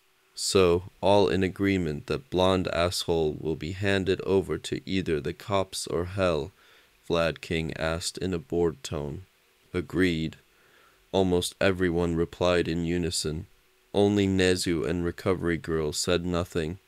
Nezu because he still wanted to see where things went and Recovery Girl because she was biting down on her cane in anger, using it as a gag to stop her screams of anger ringing out through the school. It's illogical not to just call the police on this one. Aizawa droned from his sleeping bag, a juice pouch in his grasp. Kacchan never went this far before. Izuku admitted softly as he entered the room with Charlie and Vaggie under escort of Lunch Rush, who handed a pouch of juice to Aizawa and a thermos of coffee to Snipe, who was sitting quietly in the corner of the room, watching the monitors and occasionally marking something down at a computer. True, but we can't interrupt the test without having to retest everyone unless he attacks another applicant again. Nezu stated bluntly. You know the HSC is just wanting to jump in and take over the school. Stupid pencil pushers. Nemuri grumbled in annoyance. On more than one occasion, the HSC or Hero Safety Commission had tried to interfere outside their preview, such as with the school, which fell under the Education Board, or in Hero's private lives on numerous occasions, even without merit. Nemuri herself had a personal grudge against them after they blacklisted her original hero costume and later did the same to her second one. She didn't get what the problem was. Linger was clothing, hence, she wasn't naked after all. Charlie nodded empathetically as she patted Nemuri's shoulder. Tell me about it. The amount of bureaucratic bullshit I had to go through to open the hotel was insane. I'm still surprised that you managed to get it all done in a week while Vaggie and I struggle with the damages list for just one week. Izuku's sweat dropped. Shush. Tired. Vaggie groaned as she tried to get to sleep on one of the chairs in the corner. Aizawa nodded in sympathy with the moth demon. Test arena be. Aibara panted as she squeezed her vines together, causing a dozen or so robots to come crashing down from above, breaking on impact with the ground. That lot alone should be about another 13 points to her total. While it was helpful, the majority of her points had came from rescue points, mainly by pulling others out of the path of danger or swatting aside fallen debris. Not that she knew it. To her knowledge, she was only on 28 now. Listen up, contenders, only five minutes left. Present Mic called out over the intercom system installed over the fake city, making many students start to hurry up or panic. 42. A blond teen with a jeweled belt called in a French accent as he rushed down the street and into an alleyway. 39. A brown furred teen who looked like a Sasquatch called as they ripped a robot in half make that 41. 59. A ginger haired girl with large hands called as she rushed down the street in the opposite direction to the initial teen. Aibara gulped nervously. She had only gotten a few in comparison to the others. Her hair twitched in irritation as she rushed off to find more robots, only to find herself back on the main street of the false city, which was now littered with the husks of the robots destroyed earlier. The sound of crunching and grinding filled the air as contestants began to scream and run past Ibara, who whipped around in confusion before freezing in shock. A massive robot with treads was plowing straight down the main road, flinging debris everywhere. Something shot towards it only to be swatted aside. A shout of pain got her attention as dust kicked up from one of the fake cafes. A bloodied arm was sticking out of the rubble. Her eyes went wide as she sprinted forward, her vines helping to propel her along. Hold on, I'll help you. Ibara smiled softly as she grabbed the hand and removed the concrete using her vines. Staring up at her while growling was the same teen she sat next to on the bus.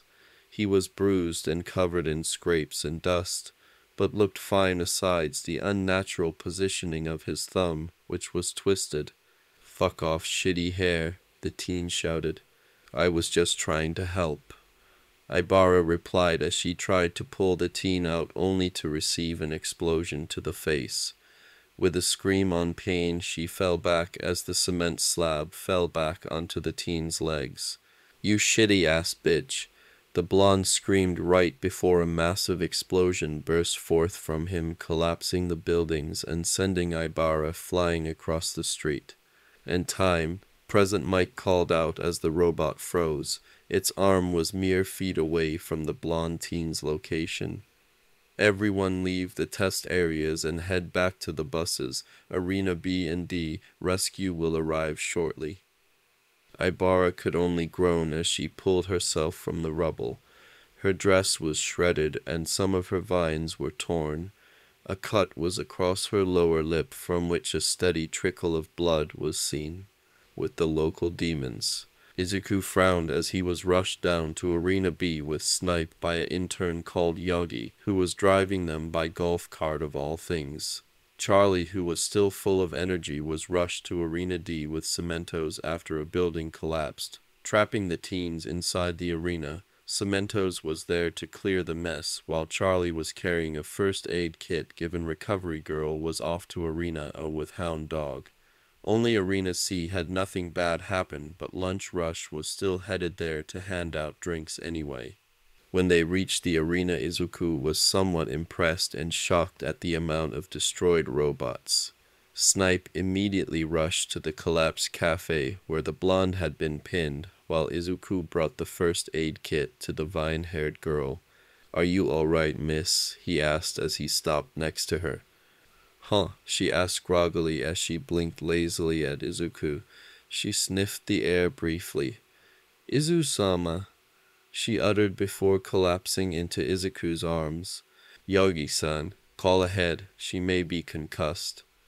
Izuku called back at the skinny man who nodded seriously and pulled out a flip cell phone to dial a number. Returning his attention to the girl, he couldn't help but notice how much blood was on her skin and what was left of her vine-like hair. Better call Recovery Girl too. It had been an absolutely piss-poor day for Mina Ashido. First she slept in and missed breakfast, almost missed her bus. Kirishima still hadn't returned her calls from last night, and to top it all off, she had been placed in the same exam arena as a flamboyant blonde who went around copying everybody's quirks, and then had to gall to insult her when he couldn't copy her. Not her fault that her quirk was nothing more than her demonic heritage. Apparently her mother had brokered some deal with a high-ranking angel in order for her to stay on Earth, even though she herself was stuck in hell from the time she had turned two. Now, to top it all off, she was stuck waiting for someone to clear the massive doors into the arena after the conjoined twins went berserk on the zero pointer and threw it at the doors which brought down two buildings once they were covered by its shadow. Currently, she was sitting atop a three pointer that one of the kids disabled by making it malleable and unable to support its own weight. Dark One, we request a seat. The bird-headed of the conjoined twins stated in a blunt tone. Sure, I'll budge over. Name's Mina Ashido. She gave a cheerful fanged grin as she slid aside. I am Fumikage Tokoyami. The teen replied as he sat down next to her. And your sister? Mina asked after a few moments of silence. The bird headed teen merely looked confused. You have a mutation quirk that gives you a bird head, and your sister is a sentient shadow. She deadpanned. Is that true? Tokoyami asked as the bird headed shadow materialized on his shoulder, nodding sheepishly. Why didn't you ever tell us? I'm shy.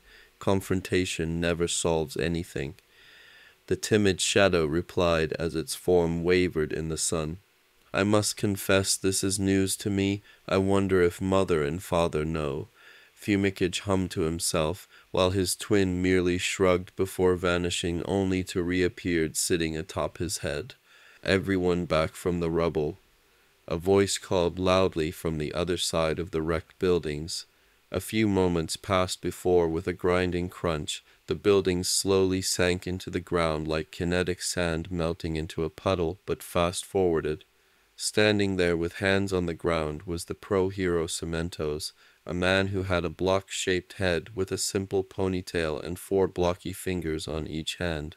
Next to him was a white as snow skinned teen, who looked to be their age, with long blonde hair done in a simple plait that reached their ass wearing black jean and a white button-up shirt, a simple first aid kit held in her hands, her red eyes scanning the area for anybody who needed help as she rushed into the arena, stopping briefly to give band-aids to those with minor cuts and bandages to those who had worse like the short girl in the dress who defeated the robots she had came across by making mushrooms sprout everywhere inside them.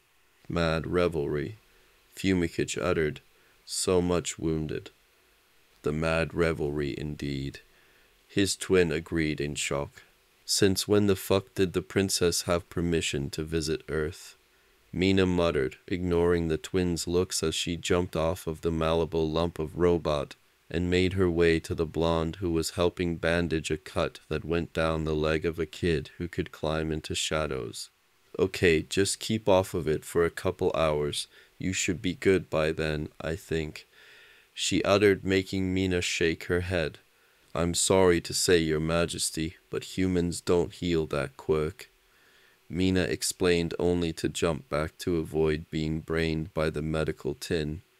Peace, peace. Why is a member of Imp here? Charlie asked defensively. I'm not a part of Imp. Mum struck a deal with someone to let me stay with Dad. Mina explained much to the injured teen's confusion. Michael, she started. Shush, shush, shush, shush, Charlie hissed as she covered the pink skinned girl's mouth. Ixnay on that, okay? Mina rolled her eyes but nodded reluctantly. Another one, Cementoss groaned as he pinched the bridge of his rather flat nose. Is this place a crazy magnet? Another? Mina asked as she practically teleported to Cementoss with how fast she moved. Charlie was only a split second behind her. A girl in Arena B being treated by medical bots is scanning similarly to you and your friends miss. You know I never did get your last name. Cementoss broke his sentence off with his stray thought. Oh, it's Magni. Charlie waved it off. Behind them, Fumikage made his way over. Greetings, O dark princess. The bird headed teen nodded with respect. Hi again, your parents doing good? Charlie asked with a grin. Father didn't listen and mom insists I need to listen to more hip hop. He shuddered in horror at the mere notion of the music. You know each other? Mina asked with a raised eyebrow. Trust me, the circumstances were odd to say the least. Charlie gave a small grin. Fumikage buried his beak into his hands in embarrassment, while Dark Shadow gave a small chuckle. Mina grinned. Oh, she just had to hear this. Aizawa growled lowly to himself as he slammed his head once more against a random wall in Recovery Girl's medical ward. He kept repeating the same mantra to himself. There can't be more demons. Across from him, sitting at her desk, recovery girl rolled her eyes as she filled out the basic forms Vaggie had provided to the elderly nurse. All up it was a basic hotel resident form for Happy Hotel, citizenship papers for Hell, which Vaggie was helping her with, and a medical report chart which the moth demon left for the nurse. Izuku, meanwhile, was still out at the arena, digging his former friend out of the rubble. The basic resident form was quite simple. It only required name, age at death, stay in hell, genders, basic description, quirk, demonic abilities, dietary restrictions and allergies, and finally sins. The form ended up filled by the time the other exam areas had been fully cleared and most of the examinees were sent home. Only a few had remained behind a girl from the support class exam called Mei Hatsume who had to wait for a pickup truck to arrive to haul her stuff back home, and the local demons in Momo, who were now living on campus for the foreseeable future with Momo leaving her family properties in the hands of the resident staff for as long as needed. Stop trying to kill yourself. I'm one of only two people who handle paperwork at the hotel, and I am not wanting any more. Vaggie warned Aizawa before tossing a pencil at the brooding teacher. Don't get me wrong, but I don't plan on dying soon. Aizawa stated bluntly. Vaggie rolled her eyes, but went back to helping Recovery Girl, and everything was quiet for a few minutes, only punctuated by the tired hero's repeated mantra. That's what most people think. A chipper voice stated as Charlie skipped into the room with a burnt and bruised Katsuki Bakugo, who was bound and gagged, who was dragged in by an exhausted-looking Cementoss. Charlie, we love you dearly, but don't ever fill out the forms. Izuku groaned as he staggered in behind them, a mountain of paperwork taller than he was in his arms, a short red-haired, pale-skinned demon with a single yellow eye and a large, fanged grin skipped in next to him, a box of paper in her arms. Hiya, boss, she chirped, shoving the box on the desk in front of Vaggie and Recovery Girl. Found these in the drawers for housekeeping instead of admin. Hey, Nifty, why are you here instead of keeping Baxter out of trouble? Vaggie deadpanned at the cheerful demon. Oh, I just asked Baxter to use the teleporter. Nifty shrugged before skipping over to the spare coats recovery girl kept on the wall and put one on. Oh, neat, I'm a doctor. Paging Dr. Nifty, the patient needs their eyeballs replaced. She giggled loudly. Two things, Charlie stated. One, how are things at the hotel? Two, you didn't teleport bread, did you? Well, yeah, it's all we had to test the device before I could go through that didn't involve losing something important. Nifty replied as Recovery Girl snatched the coat back from the demon and tossed it in a laundry basket near her desk. I'll go deal with it. Izuku sighed as he dumped the paper on Charlie and walked back out the door. Explained, now, Aizawa ordered. Baxter's teleporters often turn bread into full-blown food demons. Vaggie supplied as she helped Charlie with the papers just before she lost her balance, sending it everywhere. Joder, solo porkway. Language, recovery girl snapped, whacking Vaggie across the arm with her cane. Who knew she could speak Spanish? Nifty hummed to herself before jumping onto the bed next to the vine-haired demoness. Oh, hey, I know her. You do? Charlie asked. Yeah, Alastor bought her into his spare room in the hotel. Nifty replied honestly as she began to kick her legs back and forth. Alastor, Charlie screamed. Her horns, claws, and blood-red eyes were visible for a few moments, making Aizawa gulp nervously and Recovery Girl nod in understanding, having on more than one occasion wished she could do similar when dealing with a certain buffoon. The room got darker as radio static filled the air. Reality itself seemed to glitch like a television with really bad reception as the buzzing grew louder and Vaggie pulled out her spear defensively and Cementoss dropped into a fighting stance before with a loud fuzzy buzz. A black pointed shoe attached to red pinstripe pants stepped out of the darkness, a cane topped with an old-style microphone, not used since before the dawn of quirks, appeared next before the figure fully stepped out. Standing there in all his smug glory was Alastor, the radio demon and one of the most feared beings in all of hell in his signature red pin-stripe suit, his crimson hair spiked up as always and his dark pink monocle was as always balanced neatly on his cheek. You called your majesty. The demon grinned widely. His yellow eyes scanned the room with disinterest until they fell upon the unconscious vine-haired demon. Ah, that is where she went to. Alastor, what did you do? Charlie asked as Nifty shot under the bed to hide, taking a few loose papers from the floor with her. Oh, simply put, this little sinner was preaching falsely when she was ripped in twain by one of the upcoming attractions and devoured. I merely found her first and decided to help. The radio demon grinned with a bow, his cane stretched out behind him with his other arm across his chest. Bakugo merely growled through his gag like an enraged chihuahua, going unnoticed by many. Cementoss shushed him while keeping his eyes on Alastor. And why? Vaggie asked while glaring daggers, knowing full well how the demon operated. The same reason as any other person does anything. Alastor grinned in a wide and unsettling manner, his head tilting to the right as he leaned forward.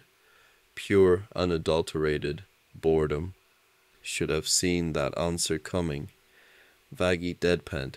If teleportation is common, why did she take the unstable teleporter? Aizawa asked as he glared flatly at Nifty. Oh, she just wanted the excuse.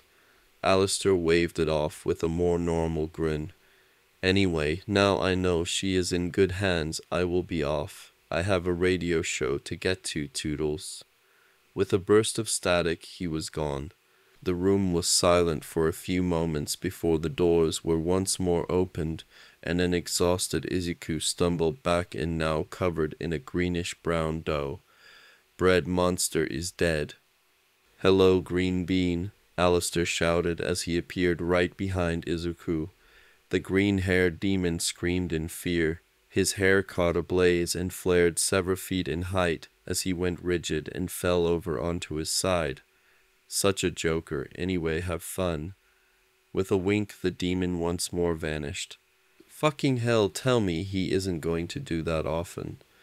Recovery Girl panted slightly while clutching at her chest. Unfortunately, we can't promise that. Charlie admitted as Nifty grabbed a fire extinguisher from the wall and began to spray Izuku before he could accidentally burn down the room. Further down the hall, another scream followed by Alastor's cackle reached their ears. Sorry. Didn't he say he has a show? Aizawa asked. Not for another few minutes, sadly. Vaggie sighed as she checked the clock hanging from the wall above Recovery Girl's desk. You're all problem children. Aizawa declared bluntly as Nifty grabbed a now foam-covered Izuku and literally tossed the teen onto the bed next to the vine-haired demon. What happened next shocked everyone as her vines shot out and wrapped around the catatonic teen and pulled him close. Once he was within arm's reach, she wrapped him in her arms and legs, while the teen turned bright red in shock and embarrassment, his hair thankfully not igniting thanks to the foam. Izu-sama, the girl muttered softly but still loud enough to be heard in the quiet room. Even Katsuki was quiet, although it was more probably in shock of seeing his should-be-dead victim clearly, since before the teen had kept behind and well away from the explosive blonde. I hope she stops that soon. Vaggie muttered darkly as he grip tightened on her spear, while Charlie's usual smile grew strained. Teenagers, recovery girl huffed, I'm demanding a raise. Aizawa deadpanned as he turned and left the room, headed straight for Nezu's office and officially done with this shit. Elsewhere, Azazel smiled as she sat in the local church. There was no service or sermon, just quiet as the priest went about his normal duties. A man with a white shirt with a gold tie sat down beside her with a soft smile. Hello, he greeted them quietly without looking. Hello to you, too, daughter. The man smiled softly, chuckling quietly when Azazel whipped around, eyes wide at him. Father, you shrunk. Azazel uttered bluntly, too in shock to do anything. No, honey, you've just grown. The man replied with a soft smile. You've been behaving, haven't you? Of course, father, but where have you been? Azazel nodded softly as the priest made his way down the aisles, a broom in hand. Ah, hello, you too. Do you require any help? The priest asked with a calm smile. His quirk simply gave him a pair of extra arms, and as such his suit had been adapted for that fact. No, we're all right. The man replied with a soft smile and shake of his head. You remind me of someone. The priest hummed softly.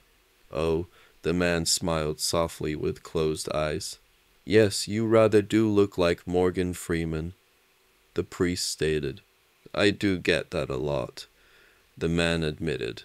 Sorry for disturbing, but may I ask how long you will be? The priest asked. I have to clean the aisles, and I don't wish to inconvenience you two by blocking your path.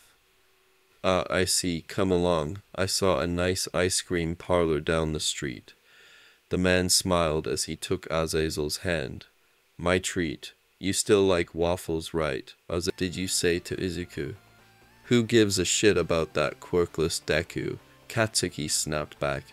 A flash of red flames filled the center of the room making everyone jump in fright before the flames died down, revealing a familiar imp holding a mug standing there accompanied by a werewolf in goth clothing with a pentagram-shaped bra visible through the boob window of her SHRT, who merely sighed as they held onto a clipboard while typing on a red phone. Hello again, shit stain. Blitzo grinned cheerfully at Katsuki before he looked around the room while sipping at a hot chocolate in a unicorn mug his eyes landing on Mitsuki where he did a spit take spraying one officer with the drink. Mitsuki Aoyama. Bakugo now, actually. The woman blinked. Aren't you that guy who always used to go to the charity shoots to help with the horses? Uh, well, yeah, I think horses are just the best. The imp gave a shy smile with his head bowed slightly. Way to go, Dad. How did you manage to sneak that into a contract? The werewolf asked with a raised eyebrow and sarcastic drawl, knowing full well nine times out of ten he tried to sneak it into a contract. Actually, it was fairly simple. It was the payment for killing some old gangster in charge of the seven precepts of death a few decades back. Blitzo admitted proudly. Some germaphobe Kai something or other didn't want to get his hands dirty, literally. You do realize we are on duty, right? One officer asked. Statue of limitations. Blitzo grinned smugly. Translation, the idiot forgot you were there. The werewolf stated as she handed the clipboard to Mitsuki. Read it through then sign it please. Just states that your son is under supervisor. As per the non-fatal clause in a hit put on him otherwise, I've got a knife I can ram through his chest. Shut up you shitty furry, Katsuki snapped. What? The werewolf growled. Hey, Blitzo snapped. Nobody talks to my baby girl Loona like that. Shut up, the scarf-wearing man snapped his eyes going red as his hair stood up on end and his scarf waved about like an angry cobra. Everybody calmed down.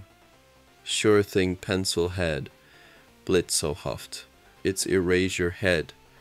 The hero sighed as he pinched the bridge of his nose. Now get to the point. I'm just here to collect Midoriya's stuff seeing as this place isn't going to be suitable for him to stay at. Can I see him? I know my son is an ass and Izuku is probably under watch, but he is still my nephew. Mitsuki pleaded to the hero.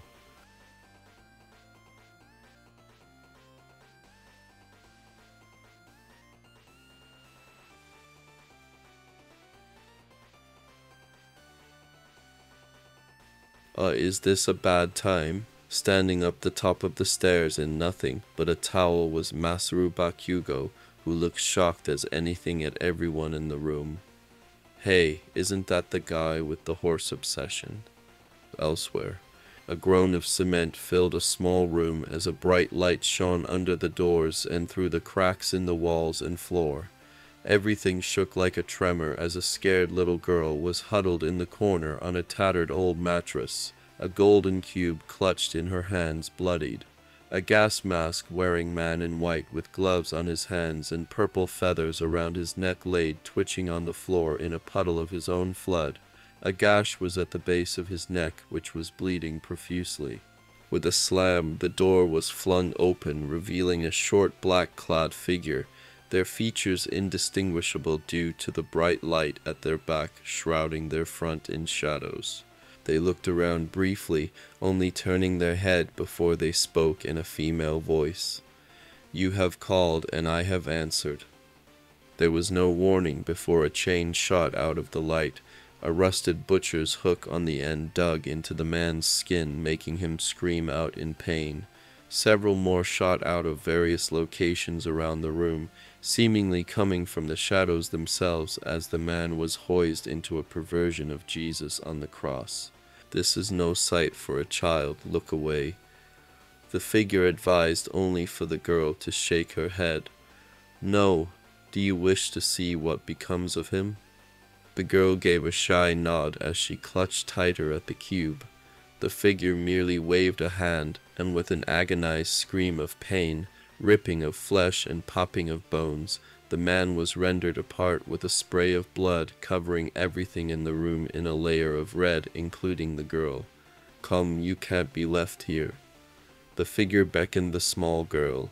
Hesitantly, she stumbled closer until she was mere feet from the figure, now able to see the soft smile from pink lips and pale skin framed by green hair. With a soft and caring smile, the woman brushed some blood-soaked hair away from her face, revealing a small budding horn. Come along now. She smiled as she led the girl into the bright light.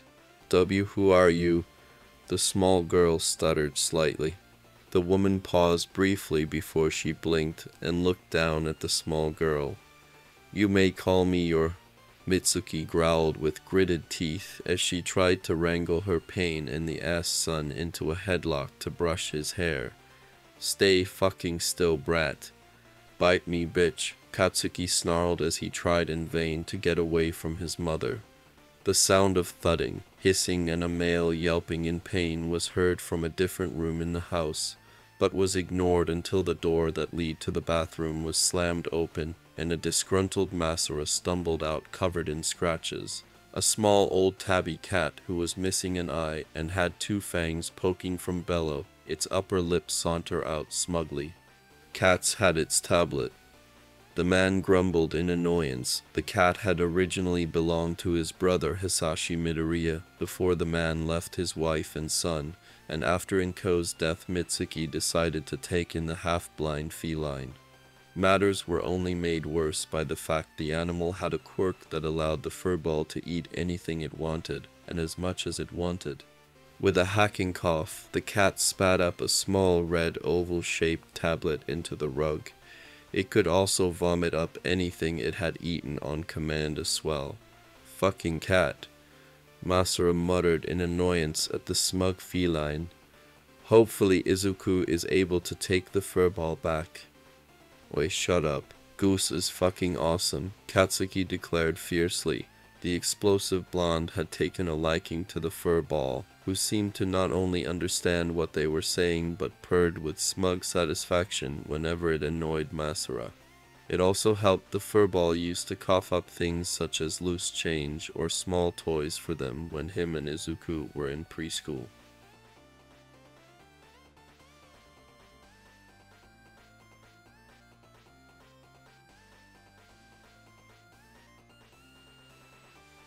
Mitsuki, sweetie, it's only 7.30.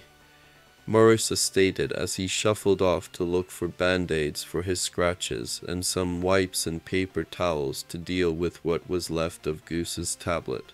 So, Mitsuki grunted as she tried to get her son's hair somewhat presentable. We aren't leaving until 10 a.m. He replied making Katsuki freeze in shock and realization. You telling me she is fucking with my hair when we aren't leaving for another two and a half fucking hour. Katsuki screamed in fury as he tried to struggle more. You bitch. As another fight broke out, they failed to hear the mail slot open as a letter drifted down to the mat below the door. The envelope was a plain white with three golden diamonds printed on the front, giving the illusion of a cube. Just below it was a simple sentence that without the correct context was a harmless business slogan that read, We have such sights to show you. Goose glared, hissing softly at the letter and backed off, never breaking eye contact with it the entire time. Elsewhere, Ibara yawned tiredly as she blinked blearily at the increasingly familiar ceiling above her.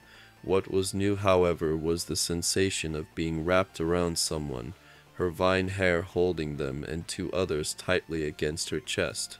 Looking down, she quickly snapped from half asleep to fully awake and blushing as she caught sight of the green-haired boy who saved her yesterday, while the blonde-haired girl with rosy pink cheeks in a set of red pajamas with an apple pattern on them and a gray-skinned girl with silver hair in a simple nightgown each held down one of his arms, essentially pinning him to the bed more so than her vines were currently doing.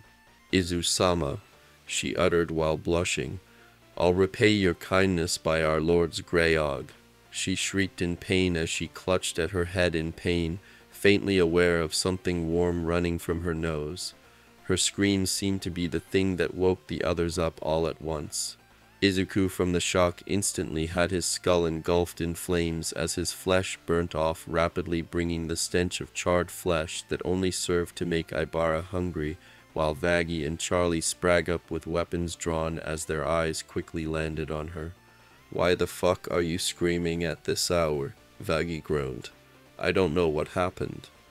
Ibara admitted as one of her vines wiped the blood from her upper lip and nose before she grabbed onto the appendage and started sucking on the end. Bad thought, Izuku squeaked as he turned around. The small fire that was present flared into a raging inferno as he did so. Vaggie's eye went wide as she blushed, and Charlie just giggled like a perv. Too early for this shit. Vaggie muttered to herself as she looked anywhere but the oblivious Ibara. I'm going to grab coffee, want anything. Juice, please, Izuku squeaked.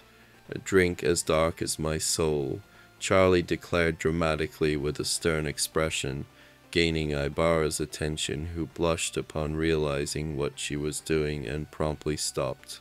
So, hot chocolate, 70% milk, three scoops of sugar and marshmallows, Vaggie asked with a grin. Yes, please, Charlie beamed cheerfully with a skip in her step as she headed for the bathroom. Anything for you? Vaggie asked Ibara. Just some bread and water, please. Raw meat, too, if they have it. The vine-haired girl requested politely with a bow. I think the D detective will be over shortly to discuss arrangements for, well, your B body. Izuku stammered awkwardly. Mother will be insufferable. Ibara sighed in resignation. Father would probably have a fit too. Izuku didn't know what exactly to say in the situation, but he certainly knew the feeling given that it was his life up until he took that piece of terrible advice. Is that much caffeine truly needed? Ibara asked curiously as she sipped at her water. Her vines draped over the back of the chair seemed to enjoy soaking up the sunlight from the window behind her. Trust me, I had trouble getting to sleep last night without the constant background noise of hell outside the window. It was weird as fuck. Vaggie shrugged. Language. Izuku and Ibara chided the moth demon. So I know my parents would probably be paying for me, but what about you three? Ibara asked making Izuku and Vaggie freeze in shock. I'm pretty sure the bank has confiscated my account after I died. Izuku seemed to pale even more if such a thing was possible given his naturally pale complexion.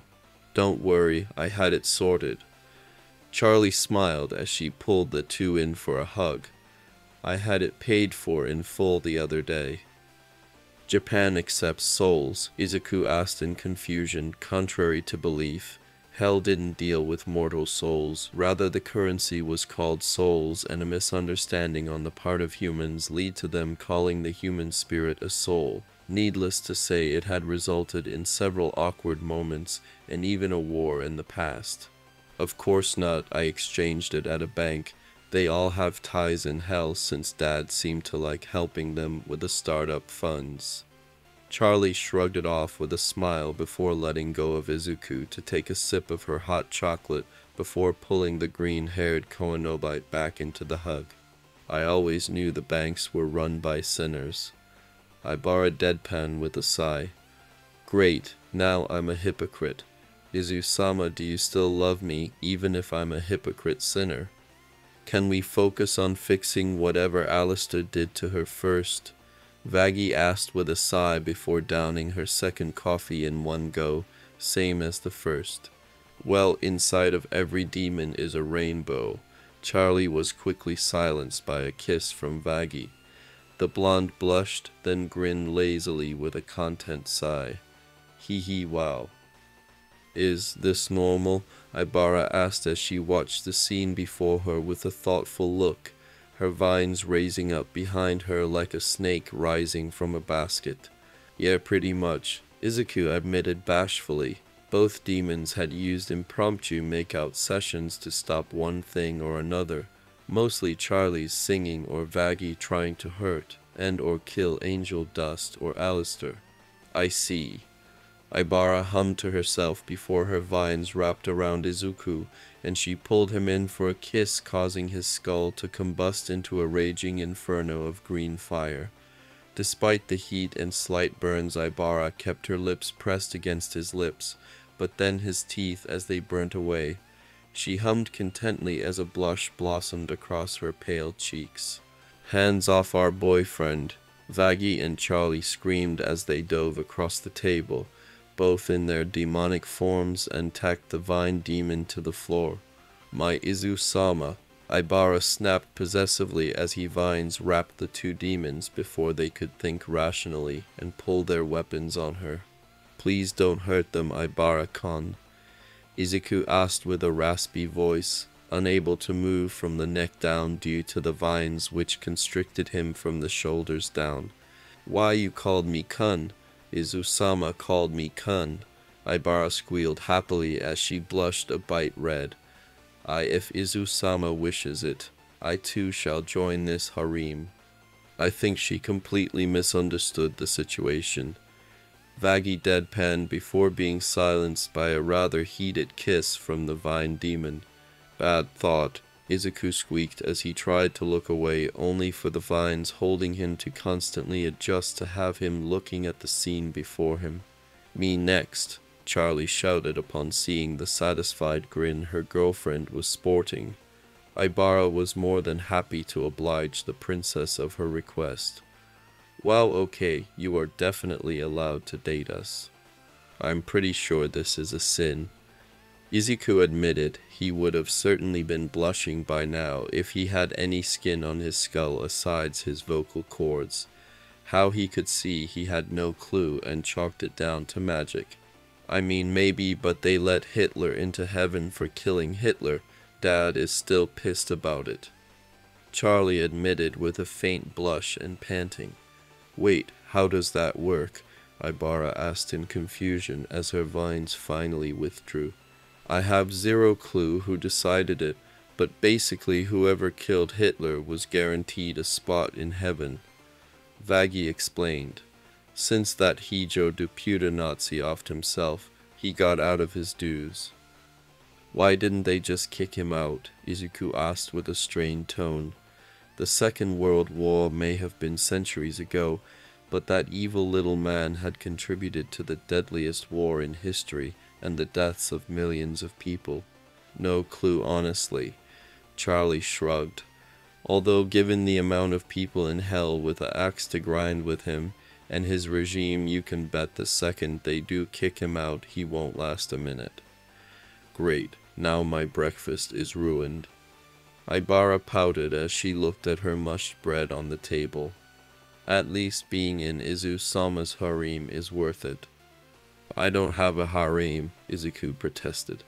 I don't know, I think Momo looks pretty hot.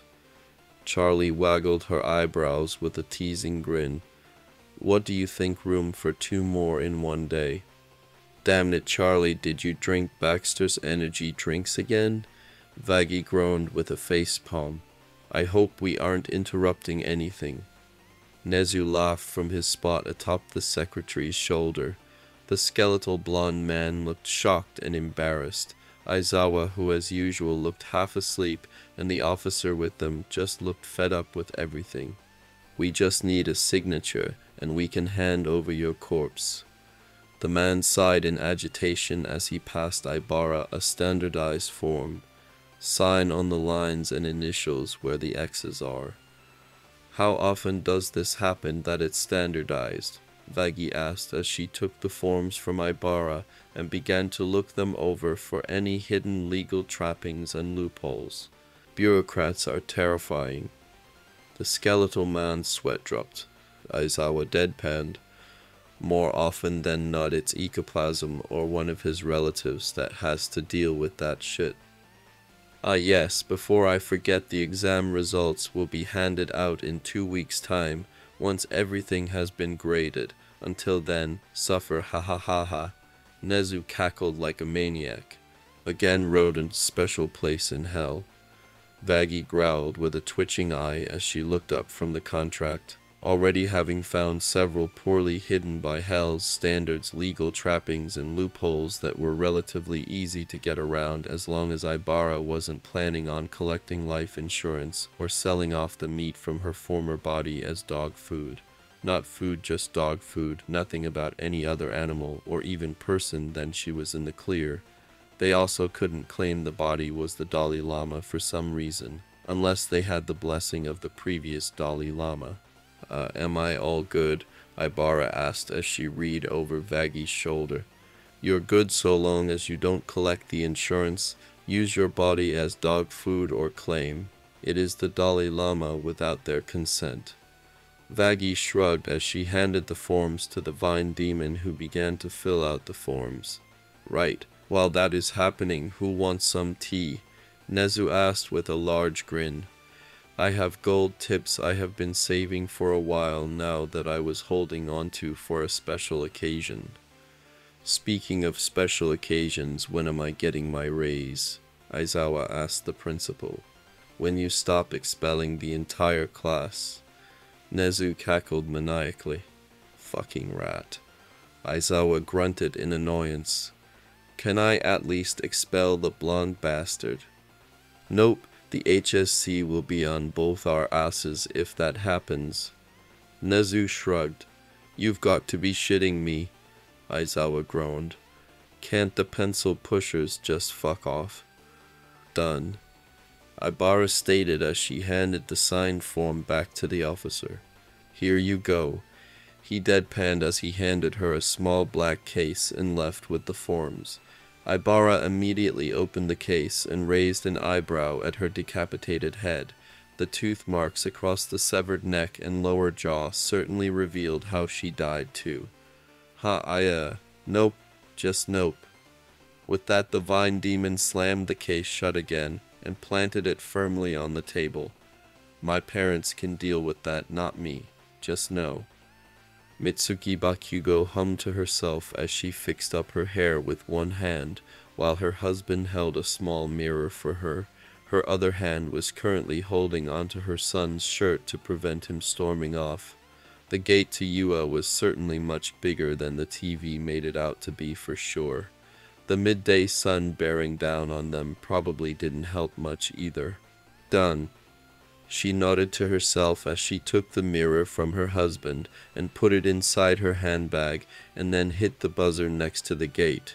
Being early meant that they hadn't been expected for a half hour or more later, but as luck would have it Aizawa was close enough that Nezu was able to rope the tired hero into answering the gate once the principal saw who it was through the cameras. It was with a flat glare that Aizawa gave a simple warning to the small family. Don't cause problems or I'm kicking you all out. That goes doubly for you living hand grenade. Fucking bite me, Katsuki snarled in anger, only for Mitsuki to cuff him around the back of his head. Fuck off, old hag. You sir must have the patience of a saint. Aizawa sighed as he gave a flat look towards Masaru, who was trying to mitigate the situation. You don't know the half of it. The brown-haired man sighed as he led his bickering son and wife into the school after Aizawa, who was somehow keeping walking pace while crawling in a sleeping bag. Eventually, they had arrived at a massive H-shaped building covered in windows with several balconies along the upper levels from the third floor up. Entering the building itself Masaru was rather impressed with the design and made a few mental notes about looking into the designer for the next fashion shoot he and Mitsuki would be doing. It was only a simple lobby, but the aesthetics was pleasing to look at. Entering an elevator at the back of the room Eraserhead in one swift motion went from laying down to standing up before he pressed the level 3 button and the doors closed. Heads up, there may be a dismembered head laying around somewhere. Aizawa stated bluntly. Pardon, Mitsuki gasped in shock. The problem child isn't the only one who is unread here. Aizawa sighed. How he hated Ken right now. Bastard had bribed Nezu with cheese, tea, and wine to keep most of the demons out of his classroom, only taking the former nun as Nezu didn't want things to be too easy on the vampire-themed hero. As the doors opened they were treated to the sight of what could only be described as a flaming man made of muscle fibers being wailed on by a teen with a burning skull for a head, a pale woman covered in razor-sharp vines, a giant female anthropomorphic mother with a red spear, and a white-skinned stereotypical demon with an apple-themed trident in a dress shirt. What the actual fuck, Katsuki deadpanned. He was not in the mood for weird shit. Oh, hi Kacchan. Izuku gulped nervously before awkwardly kicking the burnt being. Problem child, what is that? Aizawa deadpanned. I'm sorry, sir. Ibara uttered as she warily kicked the burning demon. I tried to make lunch, but it summoned this instead. Let's talk more banishing legion. Vaggie snarled as she tried repeatedly to skewer the demon under them. Her spear had barely made a scratch on the multi-demon due to the heat shield it was producing with its body. Suffer not the brats. Aizawa sighed in annoyance as Bakugo jumped into the fight, each explosion actually harming Legion more than the last. At least they're not fighting each other. Masaru stated with a raised eyebrow, pointedly ignoring Mitsuki joining in on the fight. Her own quirk had the nice side effect of providing a buffer layer against the fire. I better get the fucking raise. Aizawa growled, knowing full well he quirk wouldn't work on the demons, and he couldn't use it on Mitsuki or Katsuki without potentially getting them killed. Three weeks later, Tokyo. A blonde girl with vampire-like fangs grinned to herself as she licked the blood off her blades with a blush. She had gotten into some rich art snob's house and found him already dead, ripped to shreds by hooks of all things, leaving a delightfully bloody mess. She had of course stabbed him a few dozen times to make sure he was truly dead, but she wasn't one to complain over free blood and stabbings.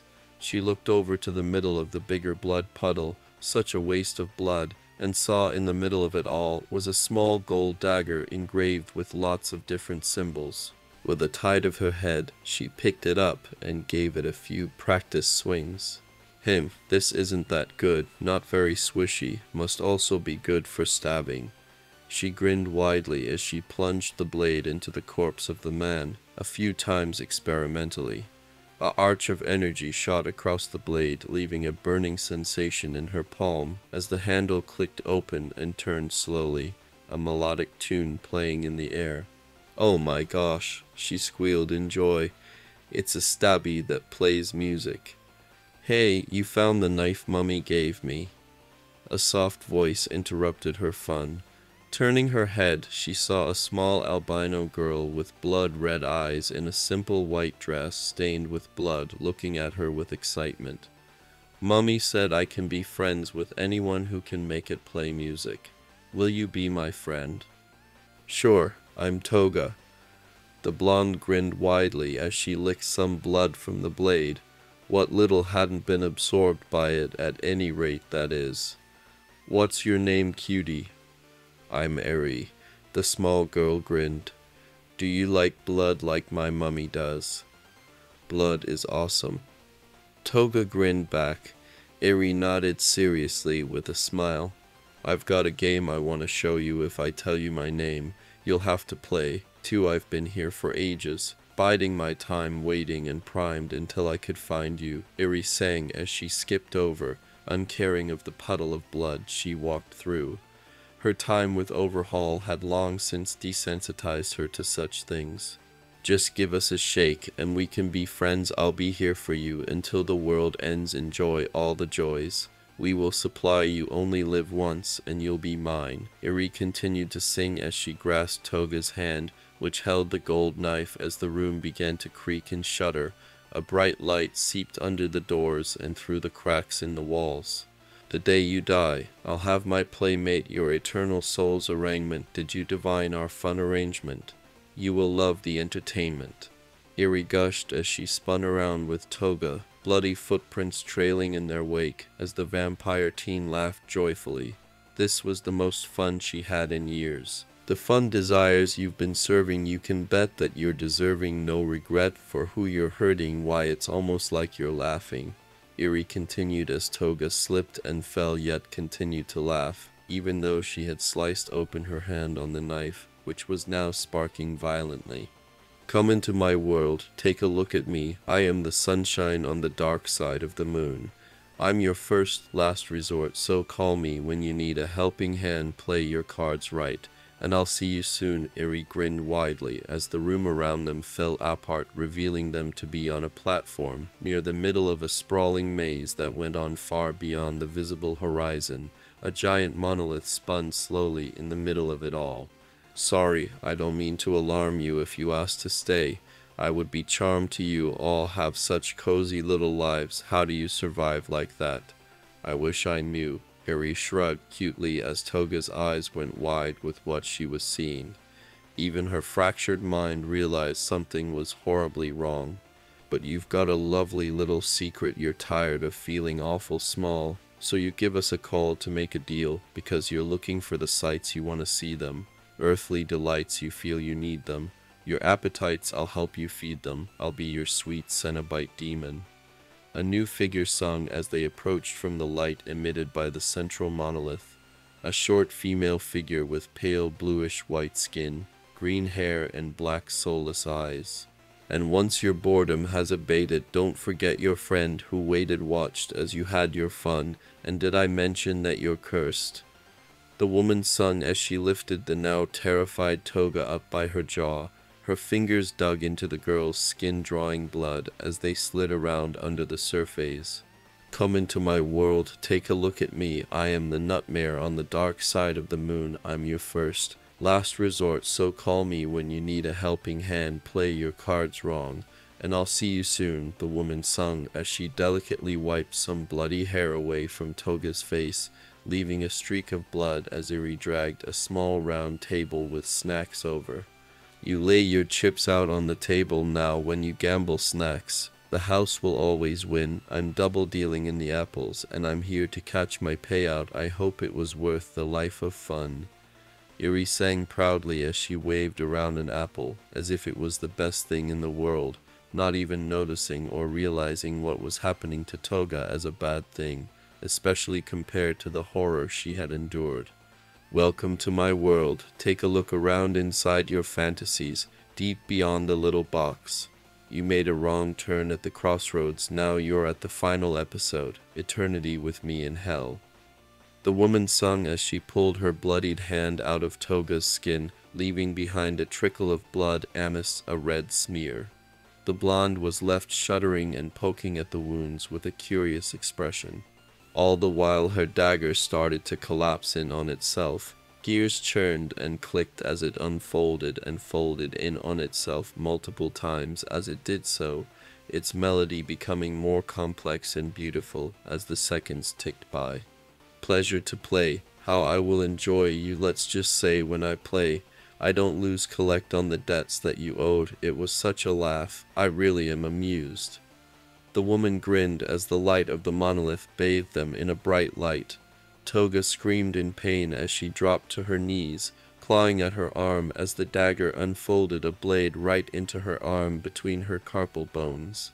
Have a fun thought. I'm right beside you a casual giggle, just to guide you look over your shoulder and I'm gone remember this song, and I bid you good day. The woman and Eri sung together as Toga dropped to her side, tears streaming down her face as her heart felt like it was held in an icy vice. Mummy, is she going to be my new sister? Eri asked curiously as she sat down with her apple to eat.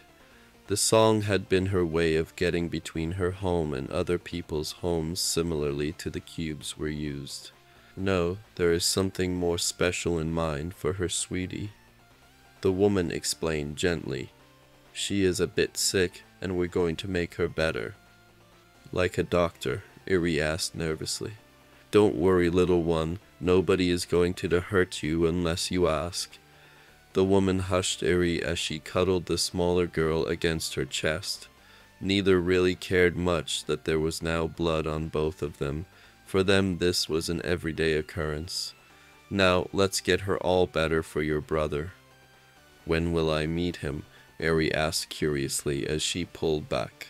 Soon, sweetie, soon, and then we can be one big happy family.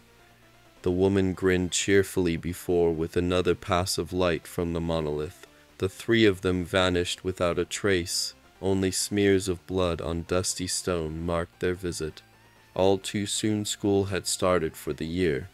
With the first day of class came a rush of new faces to the campus, with the only year-round students being a trio of students now starting their third year and a lanky student with a squirrel tail in the business course second year. The morning started off as normal for the group. Vaggie and Izuku grabbed everyone breakfast. Ibara was soaking in the morning sunlight, while nibbling on a loaf of bread, and Charlie was humming to herself as she enjoyed a cup of hot chocolate. So, which teacher do you think you'll have? Izuku asked as he enjoyed a piece of toast smothered in butter and topped with bacon and egg. I think it's either Present Mic or midnight for me.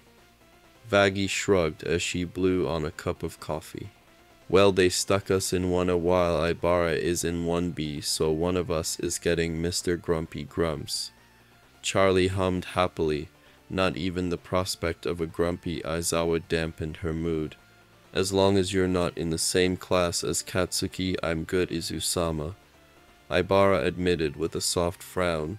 The girl really hated the blonde bomber after he had proceeded to insult everyone in the room with less than twenty words and then started to try and threaten her Izusama. This all happened while they were trying to banish Legion too.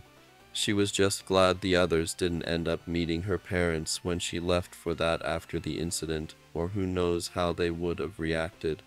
Was nice of the principal to let us share a room though. Charlie smiled happily to herself while Izuku blushed in embarrassment from the mention of it. After finding out about the arrangements Katsuki had thrown a fit while his aunt went into matchmaker mode. He was positive there had to be a succubus somewhere within her family line. It was the only thing that made any sense. Well, it could be worse. Vaggie shrugged as she chugged the coffee in one go. At least the rat didn't sell us out to the media yet. I can see the headlines now. Charlie grinned widely as she stood up. one foot resting on the chair as she waved her left hand in the air. Not all demons bad. Or demons infiltrate hero school for evil plan. Izuku replied with a sigh, more than fed up with the media in both hell and earth. If it wasn't the vultures who pester every hero on earth, it was Killjoy and Tom down in hell trying to ruin Charlie's dream while ridiculing him and the other hotel staff. PSH, I'm sure it won't happen like that. Charlie waved it off. Did we learn nothing from Killjoy? Vaggie sighed as she put her mug in the sink and picked up a simple satchel bag from the bench. I'm off, got to get to 1E before the bell rings, and it's the other side of the school. Adios, Miss Amores. See ya after the opening ceremony, Charlie called back excitedly before taking a long gulp of hot chocolate. We should be off too. Izuku sighed as he stood up, cracking his fingers as he did so. You're going to get arthritis. Ibara stated absently as her vines shot across the room to grab her bag. That's a myth. Izuku retorted as Charlie grabbed her bag and walked into the elevator with them, still drinking her hot chocolate. After a quick descent, they came into the main lobby to find Aizawa asleep in his bag with a do not disturb sign hung around him. They simply ignored it, long since used to the man's sleeping habits. Even amongst other hero schools, Aizawa was well known to be able to sleep just about anywhere as long as he had his sleeping bag. How isn't that empty yet? Izuku asked curiously as Ibara split off from them, heading towards campus east instead of north like they were. Bottomless cup. Charlie shrugged. What? That makes no sense. It would just continue to fall after you put the drink in if it was bottomless, or you'd need an increasingly longer straw to reach it. Izuku replied in confusion. I don't know. Charlie managed around another mouthful. I swear you're lucky you're somehow immune to cavities, Charlie. Izuku sighed as they found the sign for Class 1A. This is it, I juice. I'm so excited. Charlie practically squealed as she pushed open the door, revealing only a few desks were filled. Momo was sitting around back to the side and writing something in her notebook. The hazard tape wrapped briefcase was on the desk next to her. Tokoyami and his sister were located in the back corner of the room, with the two of them reading from an occult book. Izuku blushed bright red while Charlie giggled. After all, the symbol on the front was for a dating service in hell. A blue-haired teen with glasses was near the front sitting as still as a statue as he went over the timetable sheet he had in front of him. Also in the back row was a set of floating clothes that was talking animatedly with the pink-skinned demon called Mina that Charlie had told him about. The rest neither he or Charlie had met before a ginger-haired girl whose hair was done in a similar ponytail to Momo's, a girl with purple hair and audio jacks for earlobes, a rock-headed teen who was sitting quietly to the side, a teen with six webbed arms and a scarf over their mouth, a girl with green hair and a frog-like mouth, a purple-haired boy who looked like a mini Aizawa, a muscular teen with massive lips, a girl with a burned scar over half her face and a bob haircut, a teen with half his face also burnt corresponding with his red and white hair color, and a girl with pink dreadlocks who was wearing a pair of overalls instead of uniform who was sitting on a desk and tinkering with something.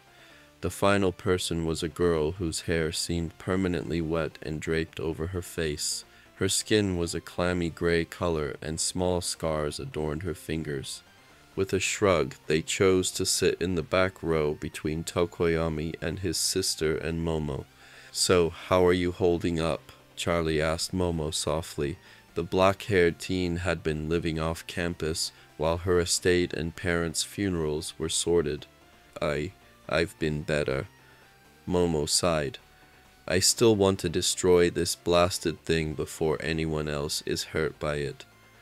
Maybe we could try acid. Charlie suggested. Momo shook her head.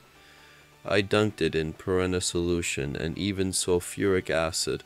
All it did was remove any dirt and blood still within the joints.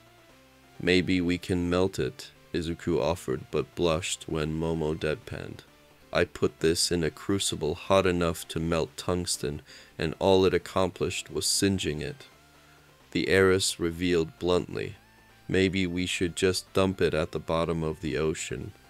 Charlie suggested, on the list of things to try next it goes. Momo hummed as she wrote it down. So, how have you been? Mina asked as she turned around in her chair with a smirk to face the back row. Any juicy details?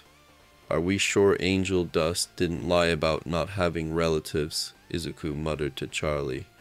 She is giving off serious Angel Dust vibes. It's her mother who is from back home, not her father. Charlie replied, deliberately avoiding use of the words hell or pentagram city. Are we sure Angel is a guy? Izuku replied. Charlie opened her mouth, finger raised to reply before she frowned with a thoughtful expression. You know, I'm not sure honestly. Let's just label Angel Dust as Angel Dust and call it a day, shall we? Charlie asked with a soft frown. She was certain that it was written on their hotel forms, but she couldn't remember what was listed given Angel Dust's atrocious handwriting. With a loud crack, the door was booted open, making everyone asides the pink-haired girl jump in shock at how sudden and loud the sound was. What the fuck you looking at, you shitty extras? Oh, hey, Katsuki. Izuku sighed, slumping slightly at the fact that his childhood tormentor was in the same class as him. Shut it, Deku. The blonde snarled before storming to his desk and putting his feet up. Get your feet of that desk now, the blue-haired teen ordered as he stood up and made robotic chopping motions with his hands. It is highly disrespectful to our upperclassmen, not to mention your atrocious behavior is unbecoming of someone who made it into UA. Bite me, Bakugo snapped only to be pelted in the back of his head by a pencil. Shooting up the blonde snarled as explosions crackled in his hands. Who the actual fuck has a death wish? I still owe you for blowing off half my face. The girl with the bob cut snarled as she gripped at another pencil. At this point, the other students got up, ready to restrain either the explosive blonde or the girl depending on how the situation went. My parents are in debt because of the shit you did. Like I give a shit, you bloody extra. Bakugo snarled as he made to dive at the brown-haired girl, only to find himself wrapped up in a scarf of all things and unable to use use quirk. Who the actual fuck? Bakugo stepped down. Aizawa growled from his place at the door, his eyes glowing a bright red as his hair floated around his head. Same goes with you bob cut. Hey sensei, the purple-haired started gesturing behind the tired hero. Who's that? Izuku could only facepalm as Aizawa jumped in shock, making him drop Katsuki face first onto the ground. Charlie giggled at the sight. Mina, however, was hyperventilating in fear. Standing behind Aizawa was Azazel, who was as usual writing down her notes in her notepad. Why are you here? Aizawa deadpan.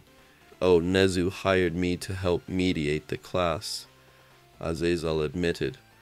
Jay, just because I'm more focused on research doesn't mean I can't fight. Whatever. Aizawa groaned as he pinched his nose, tossing several bags onto the desk at the front of the room. Everyone grab a P uniform and head down to field beta after getting changed.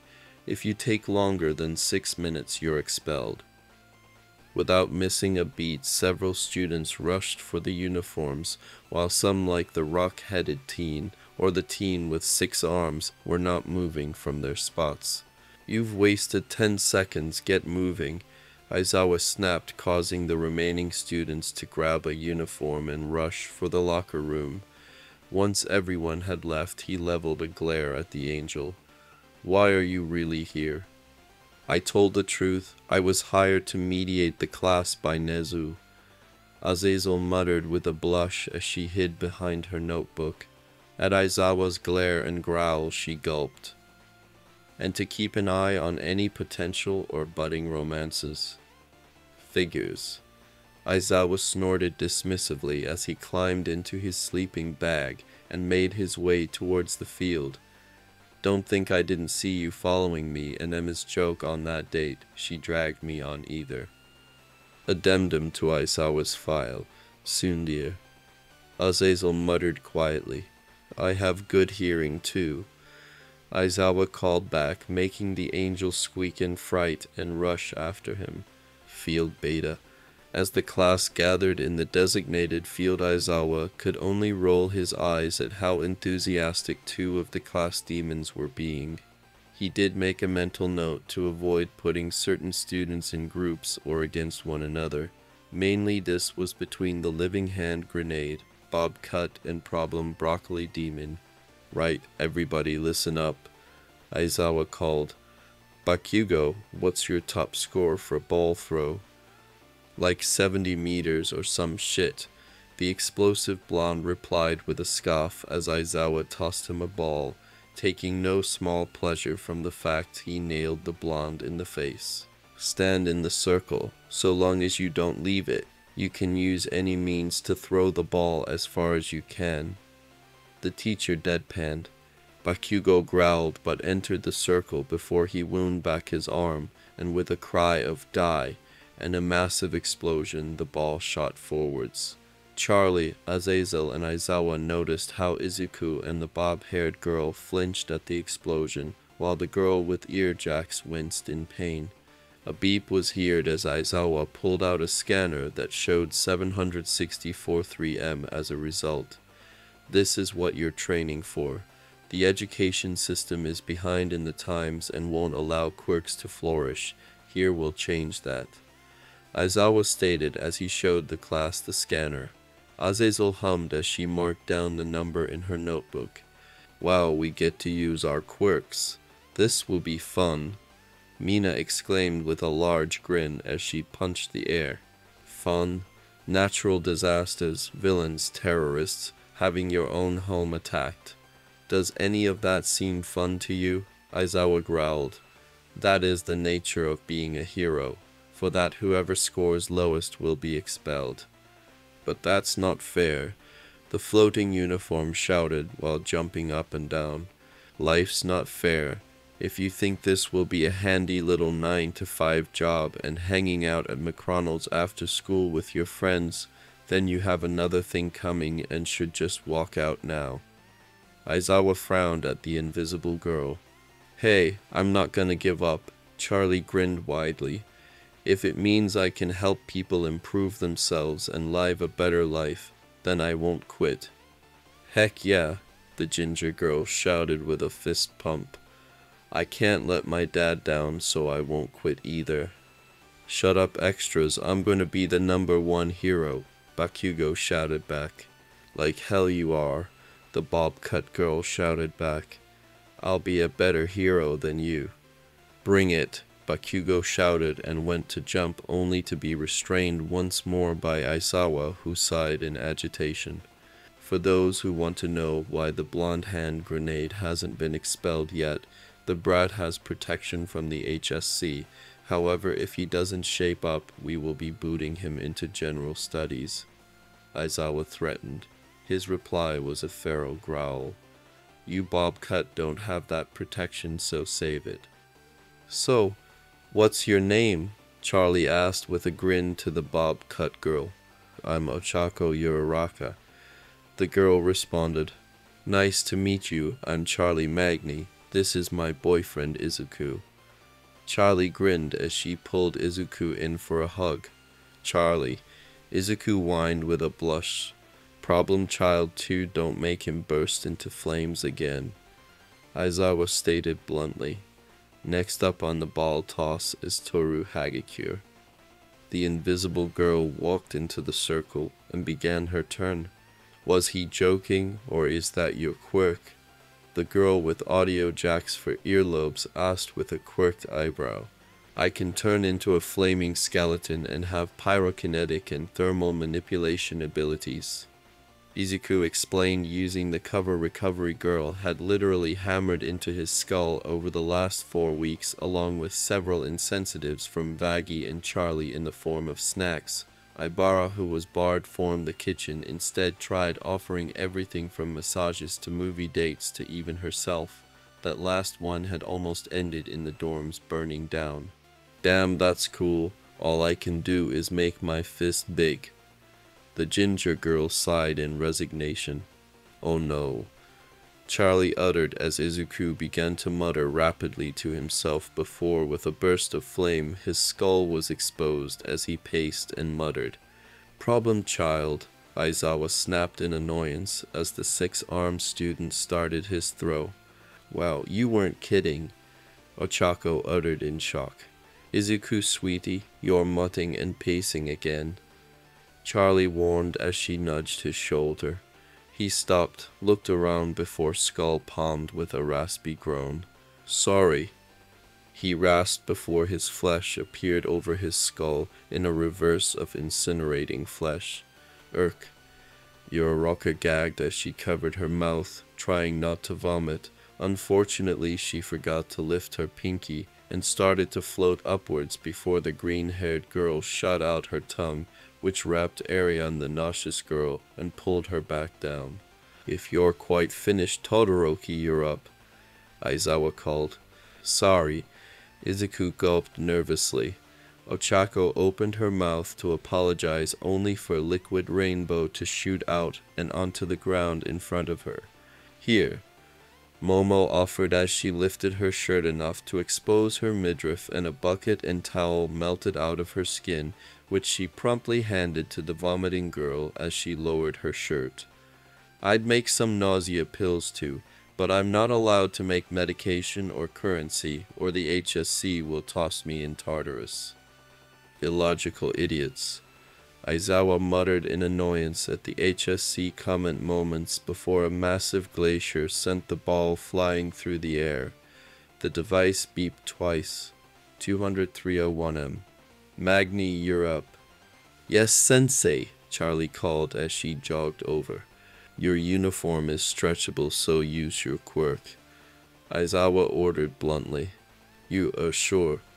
Charlie gulped as with a burst of flame she assumed her demonic form. She was three foot taller, not counting the two foot horns atop her head. Her fingers now ended in sharp black talons, her eyes turned completely red and her teeth sharpened into fangs. Revelry in the dark. Dark Shadow cackled. Hush, my twin. Tokoyami chided his shadowy sister.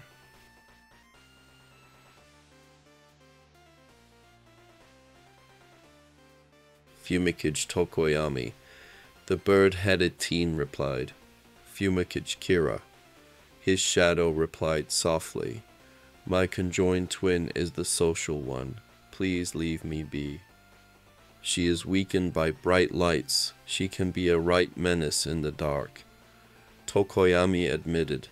I know a good bookstore not far from here. Wanna come along later? Reiko asked softly.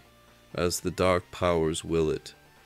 The raven-headed teen nodded, thankful his feathers covered the blush he was experiencing. Hey, no talking. Aizawa ordered, barely reacting as a gust of wind from Charlie throwing the ball blew his hair everywhere. The device he carried beeped once more. 666 meters. With a frown, he turned to Charlie.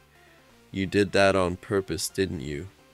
Did what on purpose? Charlie asked in confusion before snorting a laugh when Aizawa showed her the screen. Nope, but that's funny. She giggled. Aizawa rolled his eyes at how immature she was acting before waving her off. Rikido Sato, you're up next. Aizawa sighed. He already regretted getting out of bed this morning. It was going to be a long day. Elsewhere.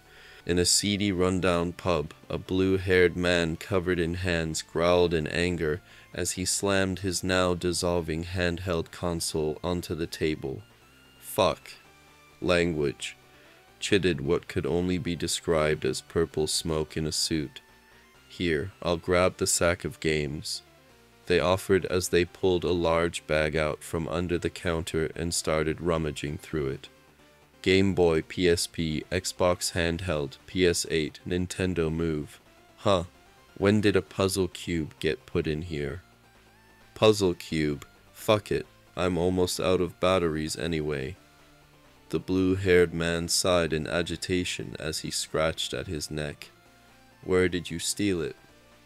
With a shrug, the mist man pulled out a small, intricately carved puzzle cube plated with gold. You know, I can't quite remember. They mused before going back to cleaning the bar. From the looks of it, maybe one of those art collectors you killed the other week who said your art wasn't up to snuff. Fuck them. My art is gorgeous. The blue-haired man raged as he pointed at a crudely done finger painting of himself standing on a dead All Might. Now hand me the fucking cube, will you, or will I have to die of boredom? Mina groaned as she flopped onto her back in the middle of the grass. Besides her, Izuku and Tokoyami and Kira were doing the same. The only two still going at the current test endurance laps were Momo and Charlie. Momo had made an electric scooter and Charlie was hopped up on two liters of sugary hot chocolate from that morning and Aizawa was starting to get annoyed. How is she still going? The ginger-haired girl, Itsuka Kendo panted as she hunched over breathing deeply. She had made a total of 23 laps before exhausting herself, while Charlie and Momo were on lap 72. Such mad revelry. Tokoyami groaned from the spot he had laid down. He had made it barely 16 laps before he had to stop. Coincidentally, it was in the shade. His sister was simply cackling at the sight of Charlie zipping around the track like she had too much caffeine. All right, pack it in, Aizawa shouted, now officially bored of the test. You proved your point. With a skip in her step, Charlie quickly made her way back to the main group of students, most of who were lounging around in the shade of the few trees that lined the field. The only ones not lying in the shade were the frog-like girl Tsuyu Asui and Mina who were lying in the sun and Shoto Todoroki who had face-planted just to the side of the track and proceeded to half-freeze himself to cool off. Finally, Aizawa muttered to himself as he pressed the Compile Results button on the measuring device. I'm not going to go over everything individually, so here are your results. He droned before with a press of another button the results showed up on the main view monitor that hung above the field and was used for events like the sports festival. In first place was Charlie, who had only really failed the side jumps after she tripped over her own feet 20 seconds in. Tied for second was Shoto and Momo. Izuku somehow managed to grab third place by a mere two points, which he gained during the ball throw managing 666M like Charlie. Of course Aizawa had threatened to expel both him and Charlie if they managed to pull that number as a result again, much to most of the class's confusion. Fourth was Bakugo. The blonde hadn't taken it well, obviously, but a glare from Aizawa was enough to keep him in check for now. Eventually, all the way down in last place was Toru Hagakure, the girl with an invisibility quirk. She was on her knees crying softly, certain she would be sent home, while Tsu and Ochako tried to comfort her. By the way, nobody is expelled. It was all a logical ruse to make you perform better. Aizawa stated blandly as he tucked himself away in his sleeping bag. Thank God, Toru sobbed with relief as she hugged Tsu tightly. The frog girl merely croaked in shock before shrugging. Down in hell, a grape-haired demon who was being tortured by an irate Loona, who he tried to grope, sneezed. It was rather obvious that's a lie, Sensei. You expelled your entire class last year. Momo pointed out, having heard about what happened to the previous class from Recovery Girl the night her parents died. What? Toru shrieked, making Tsu flinch due to how close she was. Nobody here has zero potential. That said, Aizawa frowned severely as he glared at the students.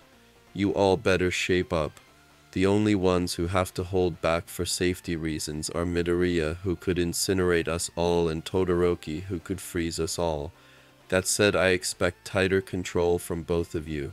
Hatsume, why the hell you aren't in the support class is beyond me, but if another of your inventions explode in my face, you're expelled. Huh? The pink dreadlocked girl grunted as she barely looked up from her latest baby that looked like some sort of metal boot mixed with a hair dryer. And pay attention, Aizawa snapped in agitation. Sure, sensei.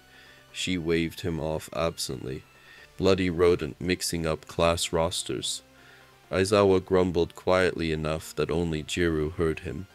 Nezu had apparently decided to mix which students went into which course much to the agitation of most teachers. Some sparkly French kid had been moved from the hero course to business. His class gained Shinso. Vlad had gained Ibara due to his bribe backfiring. Nemuri had a boy called Zero in her class, after he was originally slated for his own and Power Loader had gained an overly competitive kid called Tetsutetsu Tetsutetsu in the support class. So, oh what now? Jiro asked uncertainly as her ear jacks clicked against one another. Now you brats will grab your work packs from homeroom and head home. You'll all be moving into the dorms tomorrow, and I expect you to be able to do it yourselves as I won't be holding your hands. Aizawa stated bluntly as he pulled out a juice box and started drinking. Where does he even get those? Shoji asked in confusion. Ooh, kinky. Miss joke, son. Please don't pray to my dad. Kinda weird for me. Charlie stated before going back to the phone call. I'll get the ice. Izuku offered as he opened the freezer only to get deadpanned at by everyone as the air extinguished his skull and knocked him over. His flames tend to do that when in contact with ice unless he's flaring his fire. Vaggie explained as she stepped over Aizawa to grab the ice herself. No clue why he seems to keep forgetting the fact. Maybe because he was quirkless and not used to his powers, Momo replied. The amount of things he had to deal with are astounding. Honestly, it's a wonder he didn't snap and kill half his old class using the things in the science labs. Explain now. Aizawa ordered from his spot on the floor, only to wince in both pain and annoyance as Miss Joke decided to lay down next to him and cuddle his arm as Vaggie put a bag of ice on his shoulder to try and numb the pain. The blonde Pomeranian with the attitude problem wasn't the only one to bully him. Honestly, that school needs to be investigated and shut down. Vaggie scoffed disdainfully as she folded her arms and the HSC wants him to attend Y again. Aizawa groaned tiredly as Charlie hung up the phone. She's on her way now with Nezu. The blonde explained as she pulled a pot from the cupboard, turned it upside down, and propped up Izuku's feet with it. How did you get the music to play so that only Izuku and Momo could hear it? What music? Miss Joke asked in confusion, making Momo's eyes widen in fear. Seriously, what music? Oh fuck me. Momo whimpered as she curled into a ball on the floor, clutching at her chest. Random weapons dripped from her skin and fell to the floor. Daggers, switchblades, swords, tasers, and maces, the list went on. Nobody was able to get close to her, however, for fear of being accidentally stabbed or cut by the weapons. They could only watch on in horror as the weapons were starting to come out no longer clean. Streaks of blood or sections of ripped off skin adorned the blades as cuts opened up across her skin. Oh my cane, what the fuck? Vaggie uttered in horror. Charlie was already hunched over a garbage can and vomiting, while Ibara was trying to stop herself from lunging forwards, just to lick the blades clean of any blood. What's happening? Aizawa demanded. I can't see shit, so tell me what's happening. Her quirk is out of control. Vaggie replied quickly. She is literally having a panic attack, and she is going to bleed herself to death. Damn it. I don't know how to help here. If I use my quirk, it could just make it worse. Miss Joke gulped as she pulled herself away from Aizawa and stood up. Stay there, Zawa. I'm going to run outside and grab Recovery Girl quicker than she can walk. Damn it, get back here, Aizawa shouted at the retreating back of the clown-themed hero. Damn that woman. Aye, it hurts. Momo groaned in pain as tears ran down her face. SHH, it'll be okay. Ibara shushed the sobbing teen as she wrapped her in a hug, wincing in pain as a blood-stained knife sliced down her lower leg as it fell to the floor. Recovery girl will be here soon. It burns, Momo screamed in pain as what could only be described as a trio of techno-organic blades forced themselves out of each of her forearms, her flesh hanging from the blades for the lower quarter as blood tripped down them at a gradually slower rate. Okay, either your quirk is broken or it has evolved. Charlie gave a strained smile as she tried to comfort the black-haired girl. Look on the bright side, though. Now nobody can tie you up. Out of the way, old lady coming through. Miss Joke cried as she sprinted back in with Recovery Girl slung over one shoulder and Nezu riding on her other. Put me down, Recovery Girl snapped as she whacked her cane over Miss Joke's arm before being let down. What happened? she demanded as she made her way around the room problem child knocked himself out. I have a broken collarbone and Yaoyorozu had a panic attack and her quirk is acting weird. Aizawa explained from his place on the floor. You didn't move, did you? Recovery Girl growled at the underground hero. I'm not risking another cane to the face. Aizawa stated bluntly as he glared at the old woman. Last time he had moved after breaking a bone that hadn't been either set or death with Recovery Girl had left him with a nasty bruise and a ringing in his ear after she was done yelling at him for being stupid. You better not.